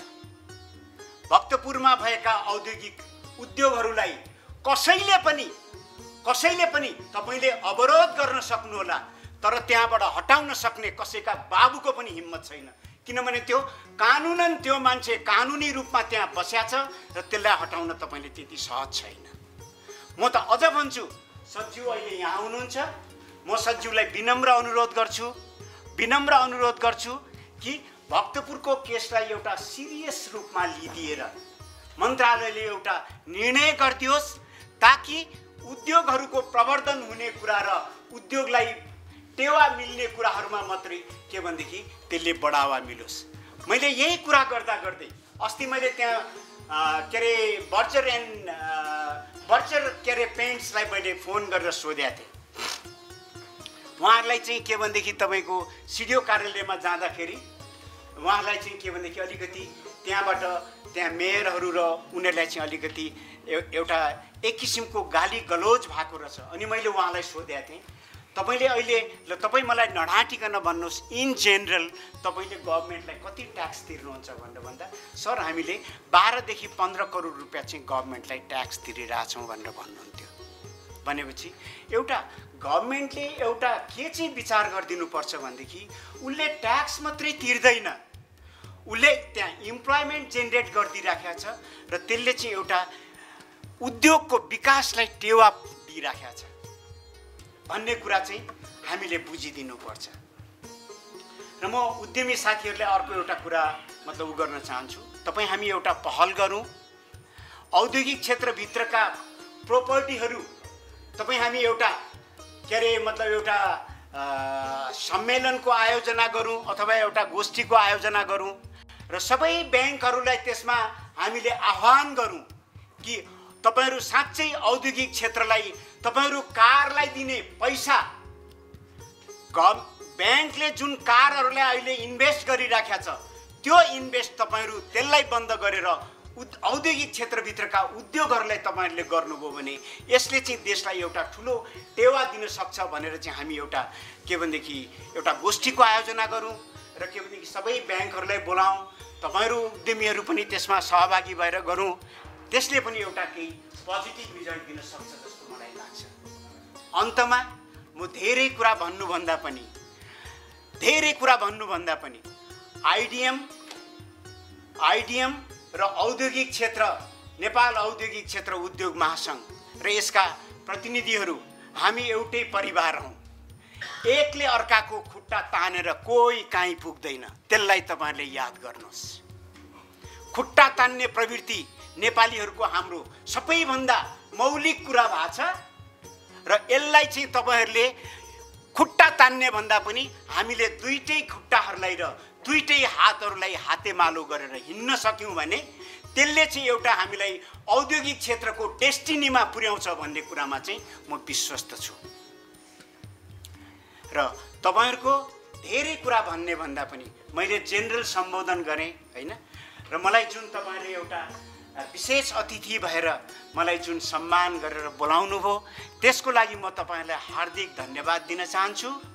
र भोलि पनि हामी एउटै मञ्चमा बसेर एउटै उसमा बसेर हामी हातेमालो गर्दै अगाडि बढौँ। त्यसले मात्रै हामीलाई एउटा विकास र के भनेदेखि हाम्रो हाम्रो कार्यहरूमा अगाडि बढ्नमा मद्दत गर्छ भन्ने तपाईँहरूलाई भन्दै र यो कुरालाई आज जति पनि इस्युहरू उठ्या छन् म सचिवज्यूलाई मेरो मेरो तर्फबाट एज ए जेनरल म्यानेजर म महाप्रबन्धक औद्योगिक क्षेत्र व्यवस्थापन लिमिटेडको र सम्पूर्ण सात सयवटा उद्यमीको तर्फबाट जुन यहाँ कुराहरू उठ्या छन् त्यसलाई मन्त्रालयले सहानुभूतिपूर्वक यसलाई विचार गरी मन्त्रालयबाट हुने कार्यमा सहयोग पुर्याइदिन म उहाँलाई हार्दिक निवेदन गर्दै म आफ्नो कुरा यहीँ टुङ्ग्याउँछु। धन्यवाद। व्यवस्थापन मिडिका महाप्रबन्धक श्री सुभाष सिटलाज्यू अब हामी सम्मान कार्यक्रममा छौँ। हामी यस महासङ्घलाई आजसम्म डोर्याएर यहाँसम्म हामीलाई ल्याइ पुर्याउने हामीलाई एकजुट गराउने जुन योगदान गर्नुभयो हाम्रा हामीलाई उहाँहरूलाई सम्मान गर्ने हाम्रो कार्यक्रम छ। यो कार्यक्रममा सम्मान वितरण गरिदिनु हुन आजका प्रमुख अतिथिजी श्री दिनेश भट्टराईज्यूलाई म अनुरोध गर्छु र सम्मान ग्रहण गरिदिनु हुन हाम्रा सल्लाहकार श्री तिलप्रसाद भट्टराईज्यूलाई म अनुरोध गर्दछु। म सम्मान कार्यक्रम पढेर सुनाउँछु। दर्ता नम्बर तिन सय छत्तिस जिरो सन्ताउन्न अन्ठाउन्न नेपाल औद्योगिक क्षेत्र उद्योग महासङ्घ बालाजु औद्योगिक क्षेत्र काठमाडौँ। सोह्रौँ वार्षिक साधारण सभा एवं नवौँ अधिवेशन दुई हजार सतहत्तर सम्मान पत्र यस नेपाल औद्योगिक क्षेत्र उद्योग महासङ्घको सोह्रौँ वार्षिक साधारण सभा तथा नवौँ अधिवेशनबाट तपाईँ श्री तिलप्रसाद भट्टराई सल्लाहकार एवं पूर्व अध्यक्ष भई यस महासङ्घ अन्तर्गत उद्योग प्रतिष्ठानको हित संरक्षण एवं सम्वर्धनका लागि उपलब्ध गराउनु भएको सल्लाह सुझावले महासङ्घको गरिमा उच्च भएको छ। यहाँले पुर्याउनु भएको योगदानको उच्च कदर गर्दै भविष्यमा समेत निरन्तर सहयोगको अपेक्षाका साथ यो सम्मान पत्र प्रदान गरिएको छ। मिति दुई हजार सतहत्तर फाल्गुन बाइस गते देवराज तमाङ अध्यक्ष नेपाल औद्योगिक क्षेत्र उद्योग महा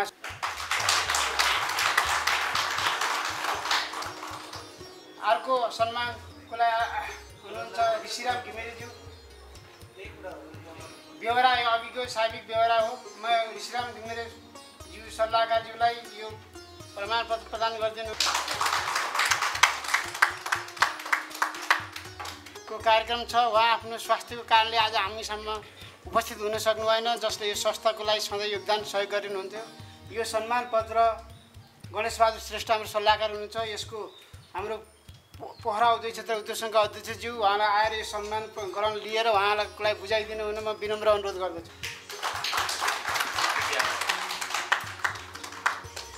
हाम्रो हाम्रो थाई सरकारको प्रतिनिधि जो हाम्रो सामु हुनुहुन्छ जो हाम्रो अभिभावक हो थाई सरकार नेपाल सरकारको थाई प्रतिनिधि भनौँ राजनीति मान्छेहरू त आज आउँछन् भोलि जान्छन्। हाम्रा समस्याहरू जसले सुरुदेखि नै निराकरण गर्न जो सहयोग गरे हुन्छ त्यसैको हामीहरू हाम्रो सामु आजको हामी प्रमुख अतिथि हामीले पाएका छौँ। उहाँले हाम्रो समस्यालाई बुझेर भोलिको उहाँको कलमले हाम्रा समस्याको उद्धार गरिदिनु हुनेछ भन्ने हामी अपेक्षा राख्दै आजको प्रमुख अतिथि उद्योग वाणिज्य तथा आपूर्ति मन्त्रालय सचिव श्री दिनेश भट्टराईज्यूलाई आफ्नो प्रमुख आतिथ्यको शुभकामना मन्तव्य सबै सहित मन्तव्य राखिदिनु हुन म विनम्र अनुरोध गर्दछु। औद्योगिक क्षेत्र उद्योग महासङ्घको सोह्रौँ साधारण सभा। र नौ अधिवेशनको अवसरमा आयोजित यस उद्घाटन सत्रका अध्यक्षज्यू।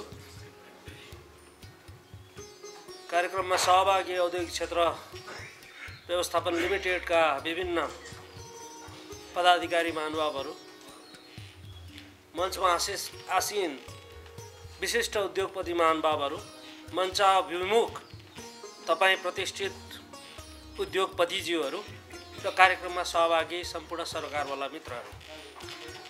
सर्वप्रथम तपाईँहरूको यो सोह्रौँ साधारण सभा र नवौँ अधिवेशन असाध्य कुशलताका साथ सम्पन्न हुन सकोस् र यो अधिवेशनले कुशल नेतृत्वको चयन गरेर आगामी दिनमा औद्योगिक क्षेत्र उद्योग महासङ्घलाई एउटा चाहिँ विशिष्ट स्मरणयोग्य उल्लेखनीय बाटोमा डोर्याउन सकोस्।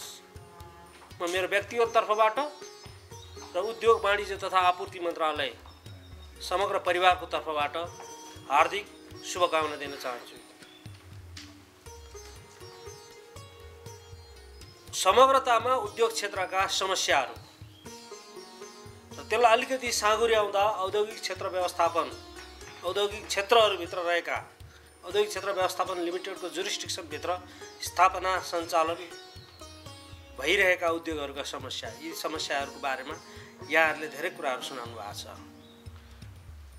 मैले आजको यो कार्यक्रमलाई प्रश्नोत्तरको रूपमा लिन चाहेको छैन।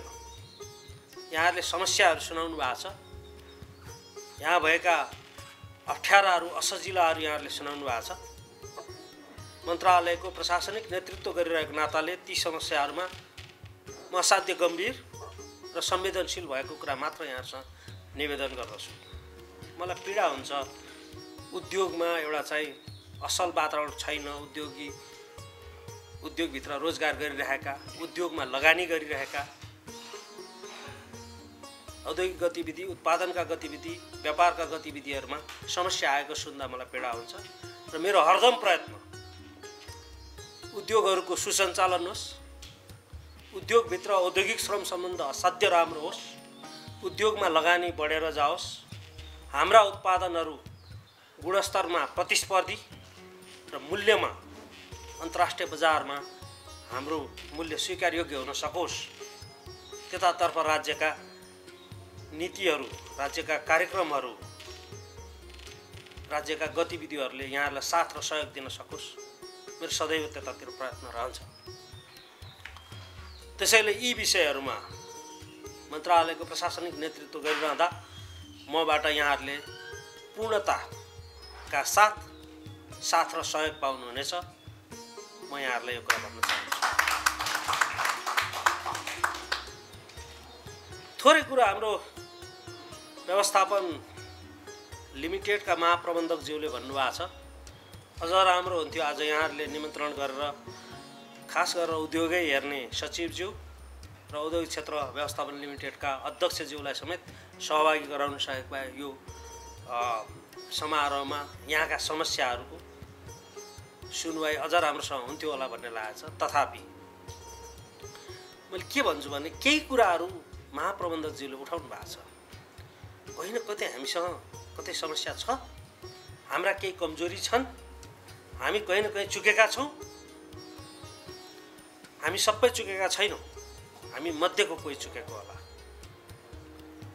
हामी सबैमा कमजोरी छैन। हामी मध्येको कसैमा कमजोरी होला। यो मैले यहाँहरूलाई भनिरहँदा सरकारी संयन्त्रको नेतृत्व जिम्मेवारी लिइरहेको मतिर पनि त्यही कुरो लागु हुन्छ। म त्यो कुरोलाई आत्मसात गर्छु। त्यो कहीँ न कहीँ चुकेको छौँ। त्यसैले हामी सबैको दायित्व के हो भने आफ्नातिर चुक्न नदिने आफ्नातिर ग कमजोरी हुन नदिने। आफ्नातिर भइ भइरहेका कमजोरीको खबरदारी गर्ने त्यसलाई करेक्सन गर्ने आफ्नातिर करेक्सनका साथमा आफूले जहाँबाट सेवा प्राप्त गर्ने हो अथवा जसका लागि काम गर्ने हो त्यतातिर पनि त्यो हुन नदिने। म यति कुरा मात्रै आग्रह गर्छु यहाँहरू वास्तवमा आफै जानकार हुनुहुन्छ। त्यसैले यो कसैप्रति त्यहाँ चाहिँ भएन है भन्ने कुरो भन्दा पनि एउटा सामूहिकता एउटा साझेदारी र सहकार्यबाट समस्याहरूको सम्बोधन गर्ने र दीर्घकालसम्म उद्योग रोजगारी आर्थिक गतिविधि आयात प्रतिस्थापन लगानी प्रवर्धन यी सबै विषयहरू यहाँहरूसँग सम्बन्धित विषयहरू जुन कुराको नीतिगत प्रबन्धका लागि मन्त्रालय सदैव क्रियाशील छ। यी कुराहरूमा हामीले एउटा ठोस गति लिन सक्छौँ। मन्त्रालयको नीतिगत प्रबन्धहरू छन् ऐन कानुनहरू छ केही ऐन कानुनहरूमा समस्या पनि छ भन्नुभएको छ तर औद्योगिक व्यवसाय ऐन हामीसँग छ। औद्योगिक व्य- व्यवसाय ऐनले केही सुविधा सहुलियतहरू त्यहाँ अफर गरेको छ। वर्षैपछि आउने हाम्रा आर्थिक ऐनहरू छन् तिनीहरू थप सुविधा र सहुलियतहरू दिएको छ। साथमा यस्ता नीतिगत प्रबन्धहरूले उद्योगीहरूका केही कर्तव्य केही दायित्व केही जिम्मेवारीहरू निर्धारण गरेका छ यी विषयहरूमा हामी प्रष्ट र जिम्मेवार बन्न जरुरी छ। तपाईँहरू उद्योगीहरू हामीहरू सरकारको संयन्त्रभित्र रहने कर्मचारीहरू। त्यसैले म मेरो तर्फको प्रतिबद्धता यहाँहरूसँग राख्छु। यहाँतर्फको प्रतिबद्धताको अपेक्षा पनि राख्दछु। भक्तपुर औद्योगिक क्षेत्रको विशेष चर्चा उठेको छ। भक्तपुर औद्योगिक क्षेत्र मैले यसलाई प्रश्नोत्तरको रूपमा लिएको छैन भनिरहेको छु। असाध्य गम्भीरताका साथ यो विषय मैले लिएको छु र यसमा के गर्न सकिन्छ? यसको सम्बोधन कसरी हुनसक्छ अधिकतम प्रयत्न मबाट मैले मान्य मन्त्रीज्यू जो असाध्य भद्र र उद्योग क्षेत्रको विकास र प्रवर्धनको लागि हुटुटी लिएको नेतृत्व हुनुहुन्छ। उहाँसँग सरसल्लाह गरेर र सरकारवाला अन्य मन्त्रालयहरू अन्य निकायहरूसँग समेत बसेर यसको सम्बोधन गर्ने मेरो अधिकतम प्रयत्न रहन्छ। म अहिलेलाई यहाँहरूसँग यति कुराहरू राख्छु र पुनः पुनः एकपटक यो सोह्रौँ साधारण सभा र नवौँ अधिवेशनको पूर्ण सफलताको शुभकामना व्यक्त गर्दछु। आज मलाई यहाँहरूले यहाँहरू बिचमा प्रमुख अतिथिको रूपमा बोलाउनु भएको छ। उद् औद्योगिक क्षेत्र उद्योग सङ्घ महासङ्घसँग म मकवानपुरको प्रमुख जिल्ला अधिकारी भएदेखि नजिकमा छु। आज परिचित अनुहारहरू देख्दा मलाई फेरि त्यहाँको सम्झना आएको छ। यो हार्दिकता यो सम्बन्ध सहकार्य सदैव कायम रहोस्। मेरो शुभकामना राख्दै तपाईँहरूबाट बिदा हुन्छु। धन्यवाद। नमस्कार। सचिवज्यू अब हाम्रो मायाको चिनो दिने कार्यक्रम छ। मायाको चिनो प्रदान गरिदिनु हुन हाम्रा महासङ्घका अध्यक्ष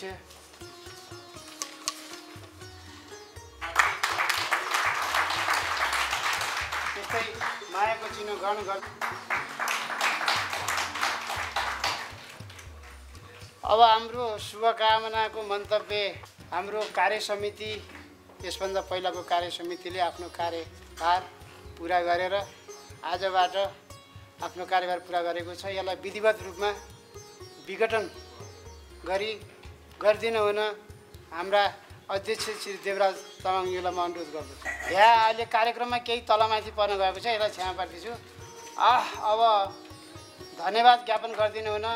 निवर्तमान अध्यक्ष श्री माधव अधिकारीज्यूलाई म धन्यवाद ज्ञापन गरिदिनु हुन अनुरोध गर्दछु। आजको यस नेपाल औद्योगिक क्षेत्र उद्योग महासङ्घको सोह्रौँ वार्षिक साधारण सभा एवं नवौँ महाधिवेशनका अध्यक्ष गर्नुभएका आदरणीय अध्यक्ष महोदय यस कार्यक्रमका प्रमुख अतिथि श्रीमान सचिवज्यू यसै गरी विशेष अतिथि आइडिएमका महाप्रबन्धकज्यू महासङ्घका सल्लाहकारज्यूहरू पूर्व अध्यक्षज्यूहरू पदाधिकारी साथीहरू अति आज यस कार्यक्रममा हाम्रो यस महासङ्घको आमन्त्रणलाई स्वीकार गरी पाल्नुहुने अतिथिज्यूहरू आइडिएमका निर्देशकज्यूहरू क्षेत्रीय व्यवस्थापकज्यूहरू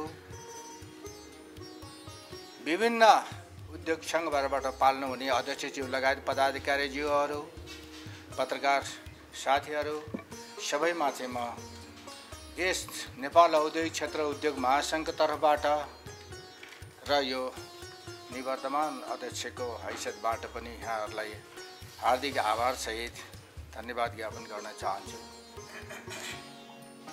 महासङ्घको यो गतिविधिको अवसरमा धेरै कुराहरू त यहाँ आइसक्यो। राख्नुपर्ने कुरा त खासै केही पनि छैन। यो धन्यवाद दिने बेलामा केही कुरा राख्नुपर्ने नै हुँदो रहेछ। ती केही कुराहरूलाई म यसो यहाँहरूको सामुन्ने म राख्न अलिकति अनुमति चाहन्छु। खास गरी पूर्वता साथीहरूले धेरै कुरा राख्नु भएको छ। एक दुई कुराहरूमा चाहिँ अलिकति महासङ्घको तर्फबाट करेक्सन गर्नुपर्ने पनि अवस्था हो कि भन्ने मलाई चाहिँ लाग्यो। आज हामीले हाम्रो माझमा करिब करिब निर्विरोध निर्वाचन गरेर अध्यक्षको चयन गर्ने अवस्था बनाइसकेका छौँ।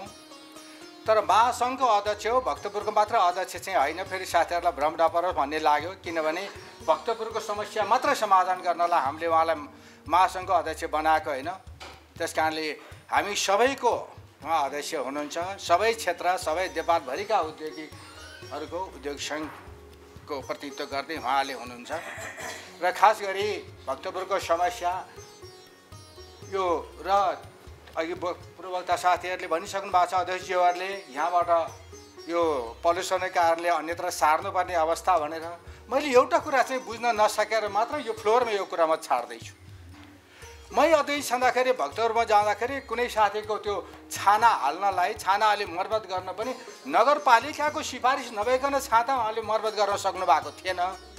आज त्यो समस्या समाधान भयो भएन मलाई थाहा छैन।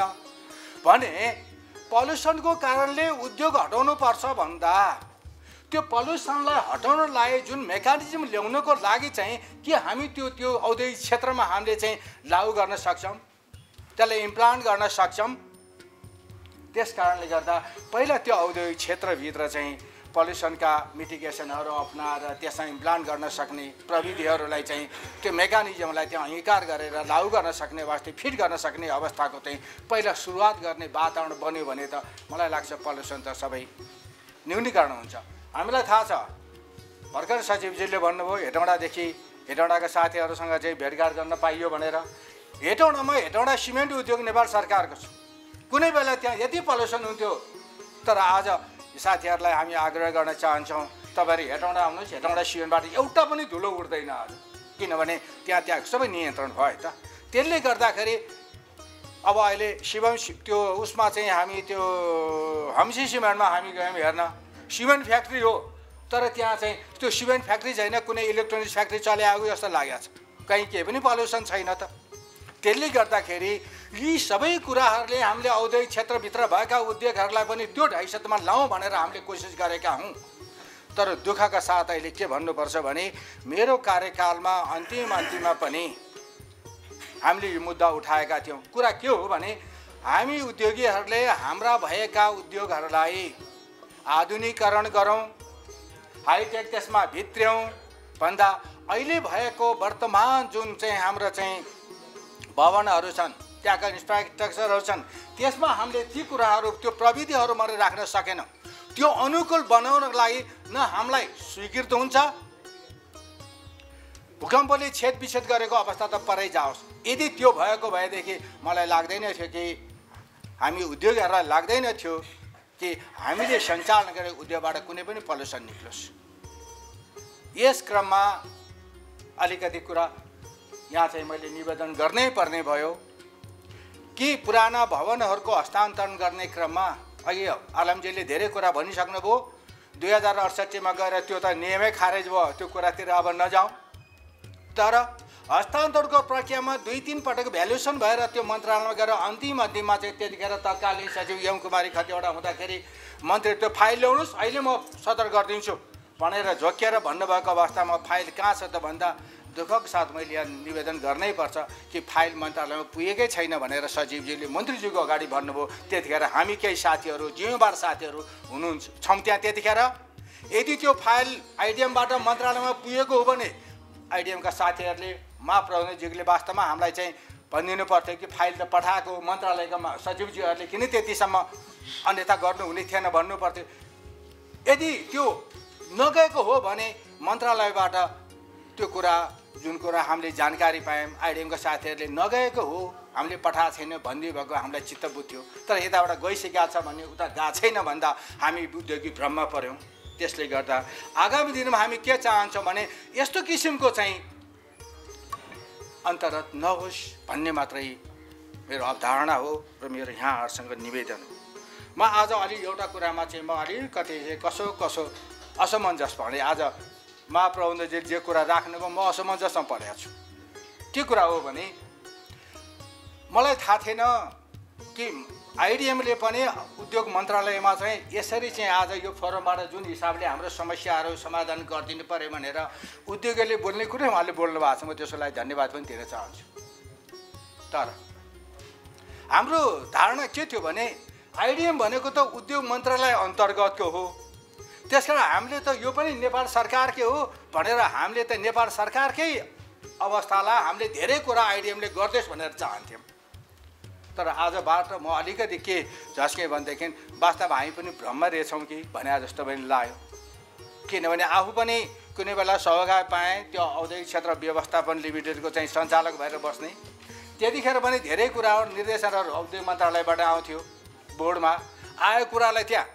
त्यही अनुसार चाहिँ लागु गर्नुपर्ने हुन्थ्यो। होइन? अवस्था त्यस्तो पनि थियो। कतिपय कुराहरू आइडियामा आफैले निर्णय गरेर लागु सक्ने अवस्था पनि थियो। त्यो भएको कारणले गर्दा र महाप्रधानजीले जुन कुरा उठाउनु भयो हामीले हेटौँडामा बाह्र करोड रुपियाँ ट्याक्स तिर्छौँ हेटौँडाले मात्रै। नेपाल सरकारलाई राजस्व त्यो कुरामा हामीले के भन्यौँ भनेदेखि मलाई लाग्छ मलाई अलिअलि याद सम्झना छ भने दिलेपछि त्यतिखेर हेटौँडामा हुनुहुन्थ्यो।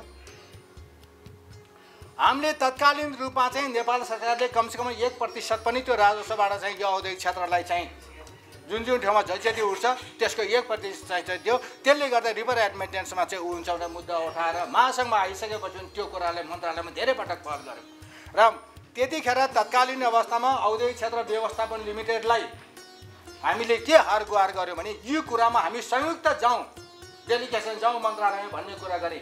तर किन तारतम्य मिलेन? संयुक्त रूपमा डेलिगेसन जानुपर्ने वातावरण मिलेन।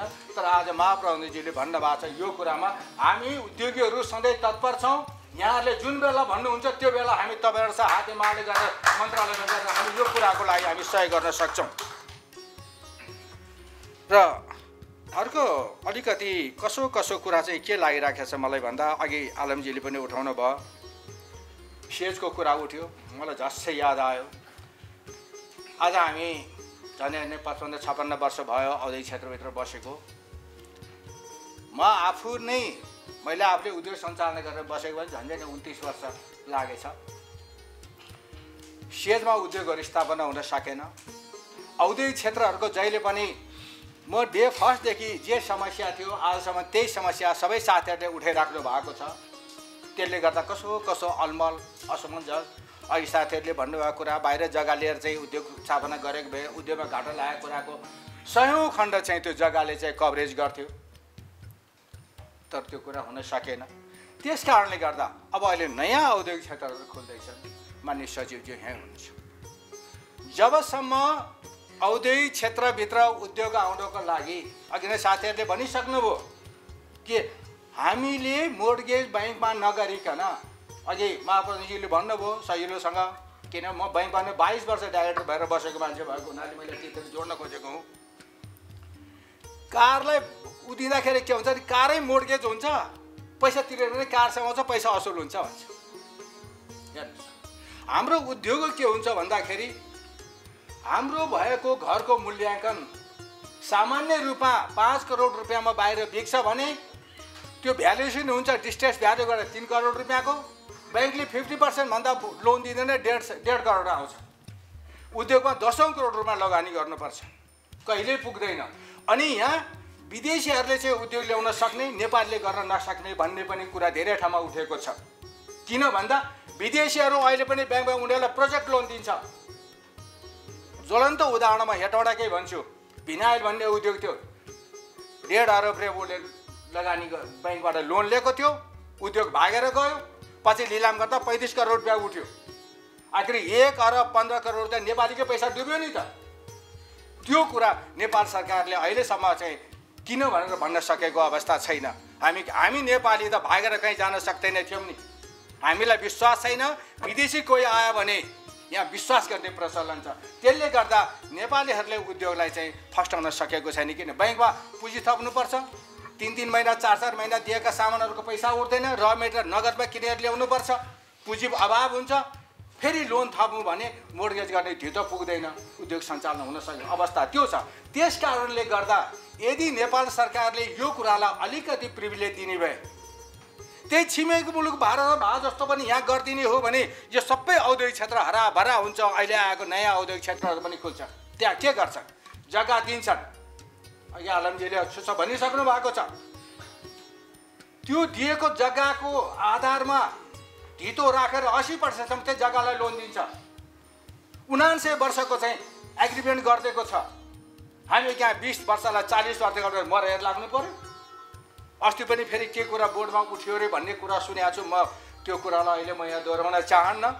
त हामी कन्जुसी किन गर्छौँ भने कुनै बेला त कतिसम्म आयो भने माने सचिवज्यू त्यो विद्युत प्राधिकरणको जस्तो त्यो के भन्छ इलेक्ट्रिसिटीको चाहिँ पावर चाहिँ गरिसकेपछि तिस वर्षमा सरकारले ह्यान्डओभर गर्ने जस्तै तिस वर्षभन्दा माथि लि दिनै हुँदैन ह्यान्डओभर गर्नुपर्छ भन्ने कुरो पनि बोर्डमा चलिएको थियो। दिलीप सर पनि हुनुहुन्छ।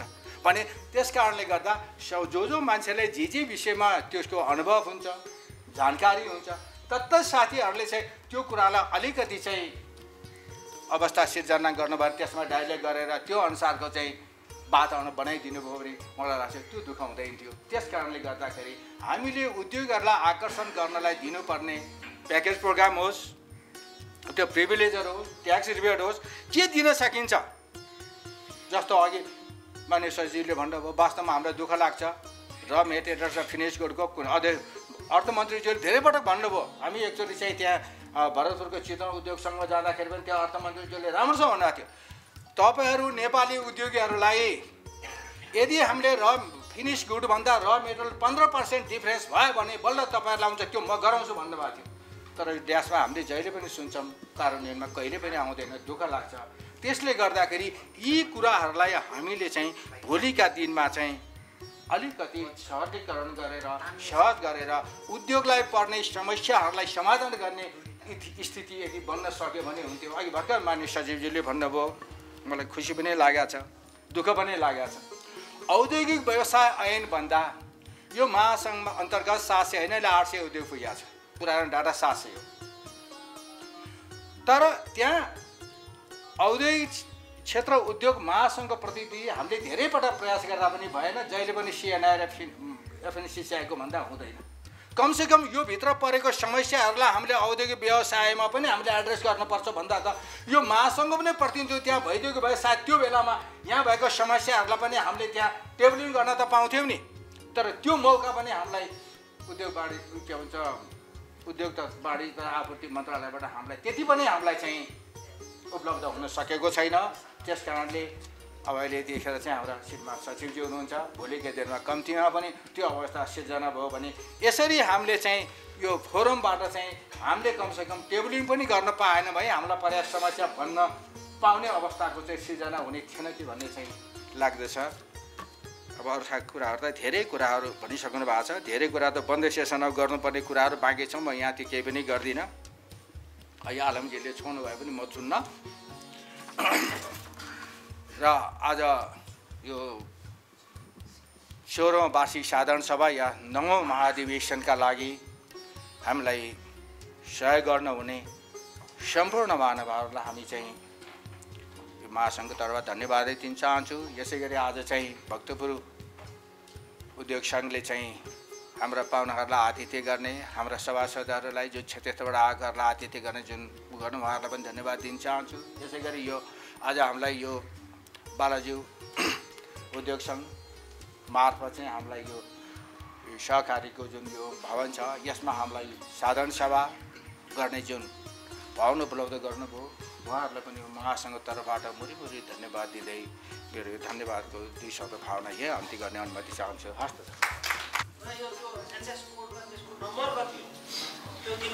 त्यतिखेर पनि अर्थ मन्त्रालयमा आएको एकदमै ओपन छ।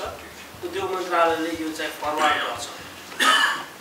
अहिले पनि गर्छ तर जेनरिक कुरा गर्नुभयो भने चाहिँ यो सधैँ सुनिराख्ने यो बाटोबाट सधैँ आइराख्ने यो बाटो चाहिँ नगरे जस्तो भइराख्ने त्यस्तो हुने अवस्था नआओस्। म आग्रह गर्छु। र अर्को एउटा कुरो चाहिँ के छ भने केही वस्तुहरू अघि छस छुट्नु भएको छ। केही वस्तुहरू जो उद्योग पुरै उद्योगको लागि खास उद्योगको लागि र मेटेरियल हुन्छ तर अरूका लागि त्यो चाहिँ फिनिस प्रडक्ट हुन्छ। उदाहरणको लागि चिन जुस बनाउने फ्याक्ट्री रहेछ भने उसको लागि र मेटेरियल होला तर मेरो घरमा म चिया खाने म चाहिँ त्यसको उपभोक्ता हो। मेरो लागि प्रडक्ट तर त्यस्तोमा चाहिँ केही टेक्निकल प्रब्लम छ नभए त्योदेखि बाहेक अरू विषय चाहिँ असाध्य सजिलैसँग सम्बोधन हुने। यहाँहरूको चाहिँ त्यो विषयमा अलिकति गम्भीरता अलिकति होमवर्क र बेलै भयो अब बेला भयो। यो काम सुरु हुन्छ। बेलैमा यो इन्फर्मेसन दिनुपर्छ मेरो आग्रह थियो है यस कार्यक्रमलाई मैले जानी नजानी म सचिवको तर्फबाट सञ्चालन गर्दा भएका त्रुटिहरूको क्षमा याचन माग गर्दै अबको बाँकी निर्वाचनको कार्यक्रमलाई अगाडि बढाइदिनु हुन र यो कार्य समितिलाई विघटन गरिदिनु हुन अध्यक्षज्यूलाई र निर्वाचनको कार्यक्रम अगाडि बढाइदिनु निर्वाचन समितिले निर्वा बढाउने छ भन्दै मैले म यहाँबाट बिदा हुन चाहन्छु। हस् धन्यवाद र यस निर्वाचन कार्यक्रम विघटन गरिदिनु हुन म अध्यक्षज्यूलाई अनुरोध गर्छु।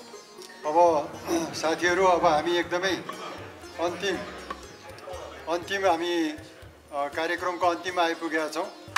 अब हाम्रो अब हाम्रो नयाँ कार्य समिति चयन गर्नुपर्ने काम बाँकी छ र यो कामको लागि म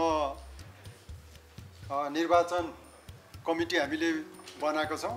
निर्वाचन कमिटीलाई हामी यो जिम्मेवारी दिन्छौँ र अहिले धेरै राम्रो कुराहरू उठेको छ धेरै राम्रो सुझावहरू आएको छ। सचिवज्यूले आफ्नो तर्फबाट पहल गर्ने कुराहरू आएको छ र यो भन्सार दरको विषयमा त्यसको डिटेल ब्रेकडाउन सहितको चाहिँ सूचना आयो भने मलाई पनि त्यसको पहल गर्न सजिलो हुन्छ भन्ने कुरा आएको छ। स्वाभाविक रूपमा अब नयाँ बन्ने कार्य समितिले यो गृह कार्य गरेर सचिवज्यू मार्फत त्यो पुर्याउने काम चाहिँ गर्ने नै छ। र यो भन्सार दरको विषयमा म चाहिँ यो इन्डस्ट्रियल अटोमेसनको काम गर्छु जहाँ म कन्ट्रोल प्यानलहरू बनाउँछु। कन्ट्रोल प्यानल बनाउने र मेटेरियल चाहिँ हामीले इम्पोर्ट गर्दाखेरि पन्ध्र पर्सेन्ट तिर्नुपर्छ। तर मेसिनसँगै त्यो प्यानल एट्याच भएर आउँदाखेरि त्यसको चाहिँ भन्सार पाँच पर्सेन्ट मात्रै लाग्छ। अनि हामी कसरी त्यो इन्डस्ट्री चाहिँ प्रमोट गर्न सक्छौँ? त्यसो भयो त त्यो त विदेशी प्रडक्टै त्यहाँ चाहिँ त्यो आउने भयो यहाँ सस्तो हुने भयो नि त उसलाई त। होइन? त्यस कारण यस्तो कुराहरू छ। हामी हजुरलाई त्यो डिटेलमा त्यो उपलब्ध गराउँछौँ। त्यसले हजुरलाई सहयोग गर्ने नै छ। अब ढिलो नगरिकन यहाँहरू सबै साथीहरू चाहिँ आइदिनु भयो हाम्रो निवर्तमान अध्यक्षज्यूले धन्यवाद सबै दिइसक्नु नै भएको छ। म यो कार्यक्रम निर्वाचनको काम के अरे कार्यक्रम अगाडि बढाउनुभन्दा अगाडि मेरो नेतृत्वमा गत साधारण सभाले बनाइदिएको जुन कार्य समिति छ अब त्यो कार्य समिति चाहिँ अहिले यतिखेरै भङ्ग भएको घोषणा गर्दछु र नयाँ कार्य समितिको निर्माणको लागि म चाहिँ यो निर्वाचन कमिटीलाई यो माइक्रोफोन हस्तान्तरण गर्दछु।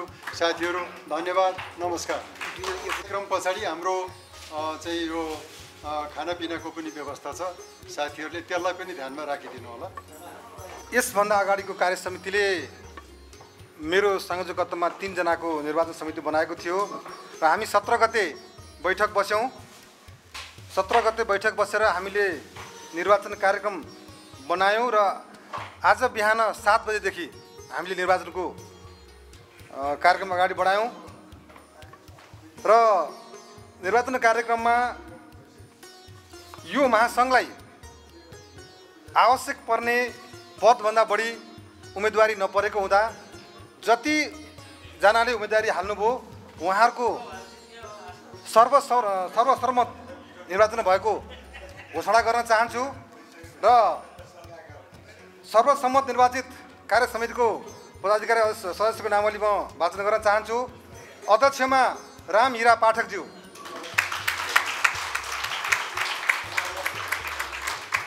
यसै गरी सदस्यमा एजाज आलमज्यू।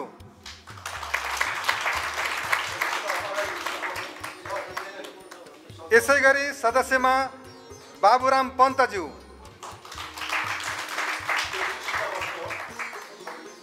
यसै गरी सदस्यमा राजेश्वर लाल जोशीज्यू। यसै गरी सदस्यमा सुदीप घिमिरेज्यू। यसै गरी सदस्यमा कान्छा थापाज्यू। यसै गरी सदस्यमा सुरेश कुमार शुक्लाज्यू।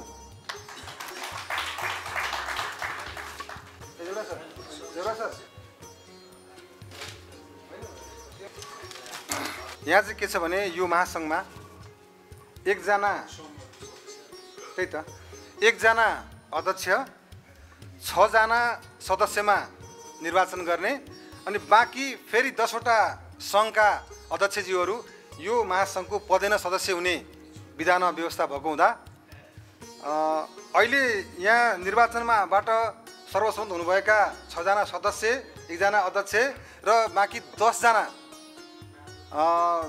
पदेन सदस्य हुनुभएको छ।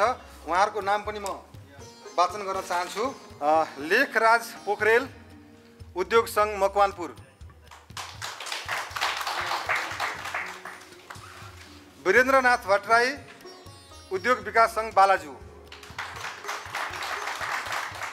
शैलेन्द्र लाल प्रधान कल्याण तथा सुरक्षा समिति पाटन।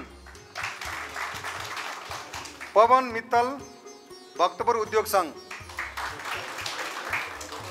हिरामणि भट्टराई बुटवल औद्योगिक क्षेत्र उद्योग सङ्घ। राजेश मास्के नेपालगञ्ज उद्योग विकास क्षेत्र अब के के लेखा छ है? यहाँ त्यसै गरी सुरेश बहादुर श्रेष्ठ। पोखरा। अब अहिले यति मात्रै यहाँ नाम आएको छ मसँग चाहिँ होइन? बाँकी अरू धरान राजीवराज र सुर्खेत। त्यो त नाम बोलाउनु त यहाँ लेखिदिनु पऱ्यो नि मलाई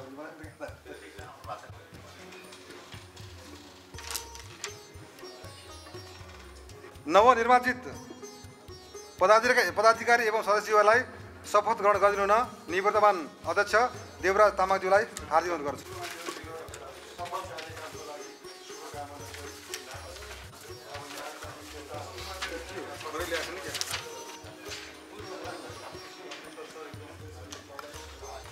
नवनिर्वाचित अध्यक्षज्यूले वर्तमान अध्यक्षज्यूलाई शपथ गर्ने र वर्तमान अध्यक्षज्यूले बाँकी सम्पूर्ण सदस्यलाई गर्नको लागि म माइक हस्तान्तरण गर्न चाहन्छु। म आफ्नो नाम भन्नु पर्यो। म रामभिरा पाठक। यस साधारण सभा समक्ष यस साधारण सभा समक्ष यो प्रतिज्ञा गर्दछु। यो प्रतिज्ञा गर्दछु। मेरो सामर्थ्यले भ्याएसम्म मेरो सामर्थ्यले भ्याएसम्म समितिको अध्यक्ष को नाताले नाताले सबै काम तथा सबै काम तथा बैठकहरूमा नियमित रूपले भाग लिनेछु। तथा तथा नेपाल औद्योगिक क्षेत्र उद्योग महासङ्घको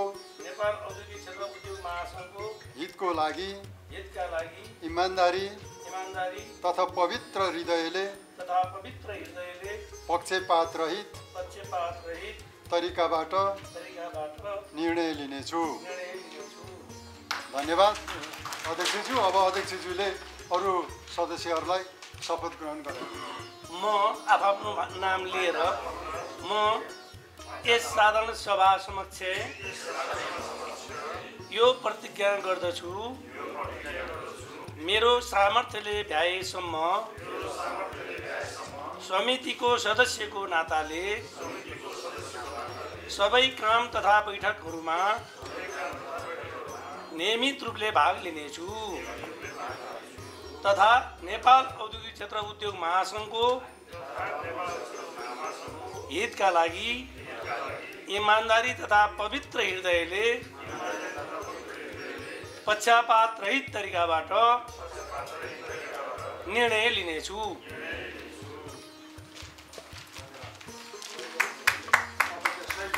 धन्यवाद। आजको अधिवेशनमा सर्वसम्मत निर्वाचित कार्य समितिका पदाधिकारी एवं सदस्यहरूलाई प्रमाणपत्र वितरण गरिदिनु हुन आजको यस कार्यक्रमका प्रमुख अतिथिज्यूलाई हार्दिक अनुरोध गर्छु। राम हिरा पाठकज्यू।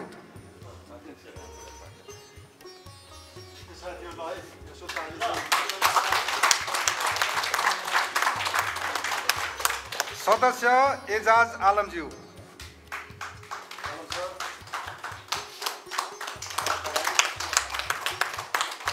सदस्य बाबुराम पन्तज्यू।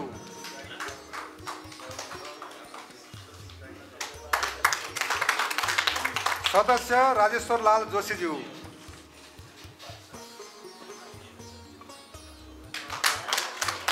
सदस्य कान्छा थापाज्यू।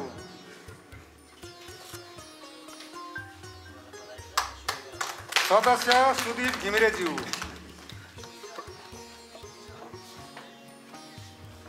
सदस्य सुरेश कुमार शुक्लाज्यू।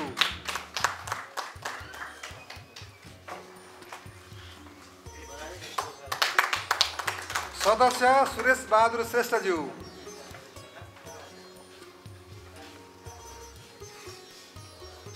सदस्य राजेश मास्केज्यू।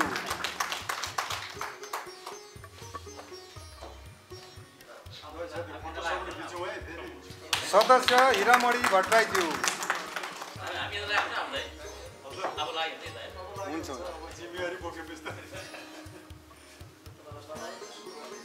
सदस्य पवन मित्तलज्यू।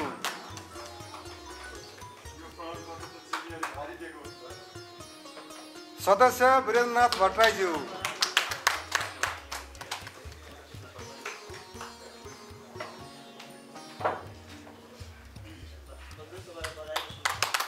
सदस्य शैलेन्द्र लाल प्रधानज्यू।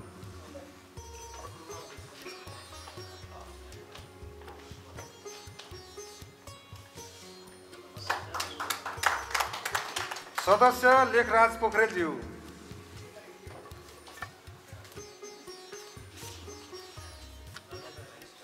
यति हुन्छ यति होइन। छुट्याएनहरू छुट्याएन नि। अब नवनिर्वाचित अध्यक्ष श्री राम हिरा पाठकज्यूबाट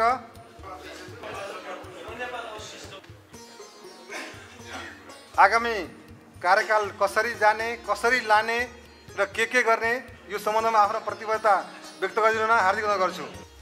अब धेरै कुराहरू साथीहरूले राखिसक्नु भएको छ। मैले राख्नुपर्ने कुराहरू खासै केही त्यस्तो देख्दिनँ। समस्या केही समस्याका भिडन्तहरू छन्। त्यो समस्यामा तैँले जुझ्नुपर्छ। त्यो जुझ्न सक्छस् कि भनेर हामीले पठाएको हो। ती समस्याहरू एकपछि अर्को गरेर देशैभित्रका दसैँवटा उद्योगहरूमा हरेक प्रकारका समस्याहरू छन् आपतहरू छन्। ती समस्याहरूलाई कसरी निराकरण गर्न सकिन्छ भन्ने बारेमा सबै उद्योगी साथीहरूसित छलफल गरेर के गर्दा त्यस उद्योगलाई राम्रो हुन सक्ला त्यसमा मेरो सदैव ध्यान लागिरहनेछ गर्न प्रयत्न गरि नै रहनेछु। समस्याहरू साथीहरूले सबै कुरा सुनाइ नै सक्नु भएको छ। त्यो समस्याहरूलाई पुराना भवनहरूका समस्याहरू भए बिजुलीका समस्याहरू भए कहीँ उद्योग राख्न नपाएका उद्योग हटाउनु पर्ने भएका समस्याहरू भए इभेत जति पनि समस्याहरू छन् ती समस्याहरूलाई अगाडि बढाउन हाम्रो टिम सक्षम छ भन्ने मैले ठानेको छु र सक्षम छ भन्ने बनाएरै उद्योगका अध्यक्षज्यूहरूले ती मान्छेहरूलाई सिफारिस गरेर यहाँ पठाउनु भएको भन्ने मैले बुझ्दछु र सबैलाई मैले यो सहयोग गरिदिनु भएकोमा धन्यवाद पनि दिन दिन्छु। त्यसको पछि अब आयो कुरो महासङ्घ काम गर्न जा काम गर्न जा भन्ने वातावरण त भयो गर्नुपर्छ भन्ने त भयो तर भोलिदेखि नै मलाई समस्या। मेरो बस्ने ठाउँै छैन। तपाईँहरूले हेर्नुभयो होला। ठाउँै नभएको अध्यक्षले प्रगति के गर्ला? त्यो बस्ने ठाउँको व्यवस्था दत्तचित्तो भएर आजको पहिल्यै मिटिङबाट यो भवन बनाउने भन्ने निर्णय लिनु र यहाँहरूले पनि त्यो बस्ने ठाउँको व्यवस्था गरिदिने हुन्छ भन्ने आशा गर्छु। जब बस्ने ठाउँ पाउला तब केही पार लगाउँला।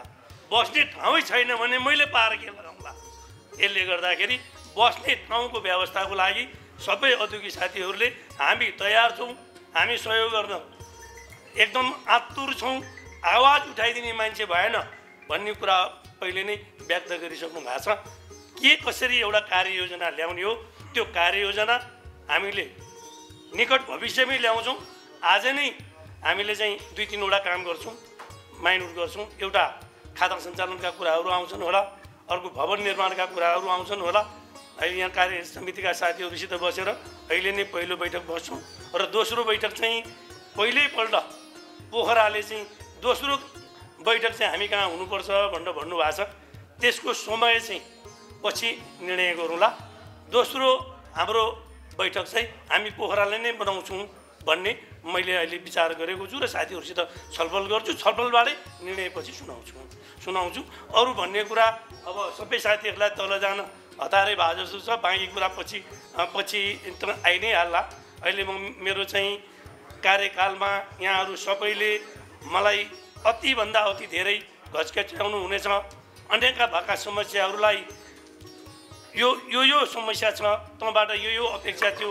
यो यो अपेक्षा भएन भनेर एक पालि होइन एक हजार पालि पनि मलाई घचघच्याउँदा मलाई दुःख नहुने कुरा व्यक्त गर्दै यहाँहरूमाबाट अहिले बिदा हुन्छु। धन्यवाद भन्छु।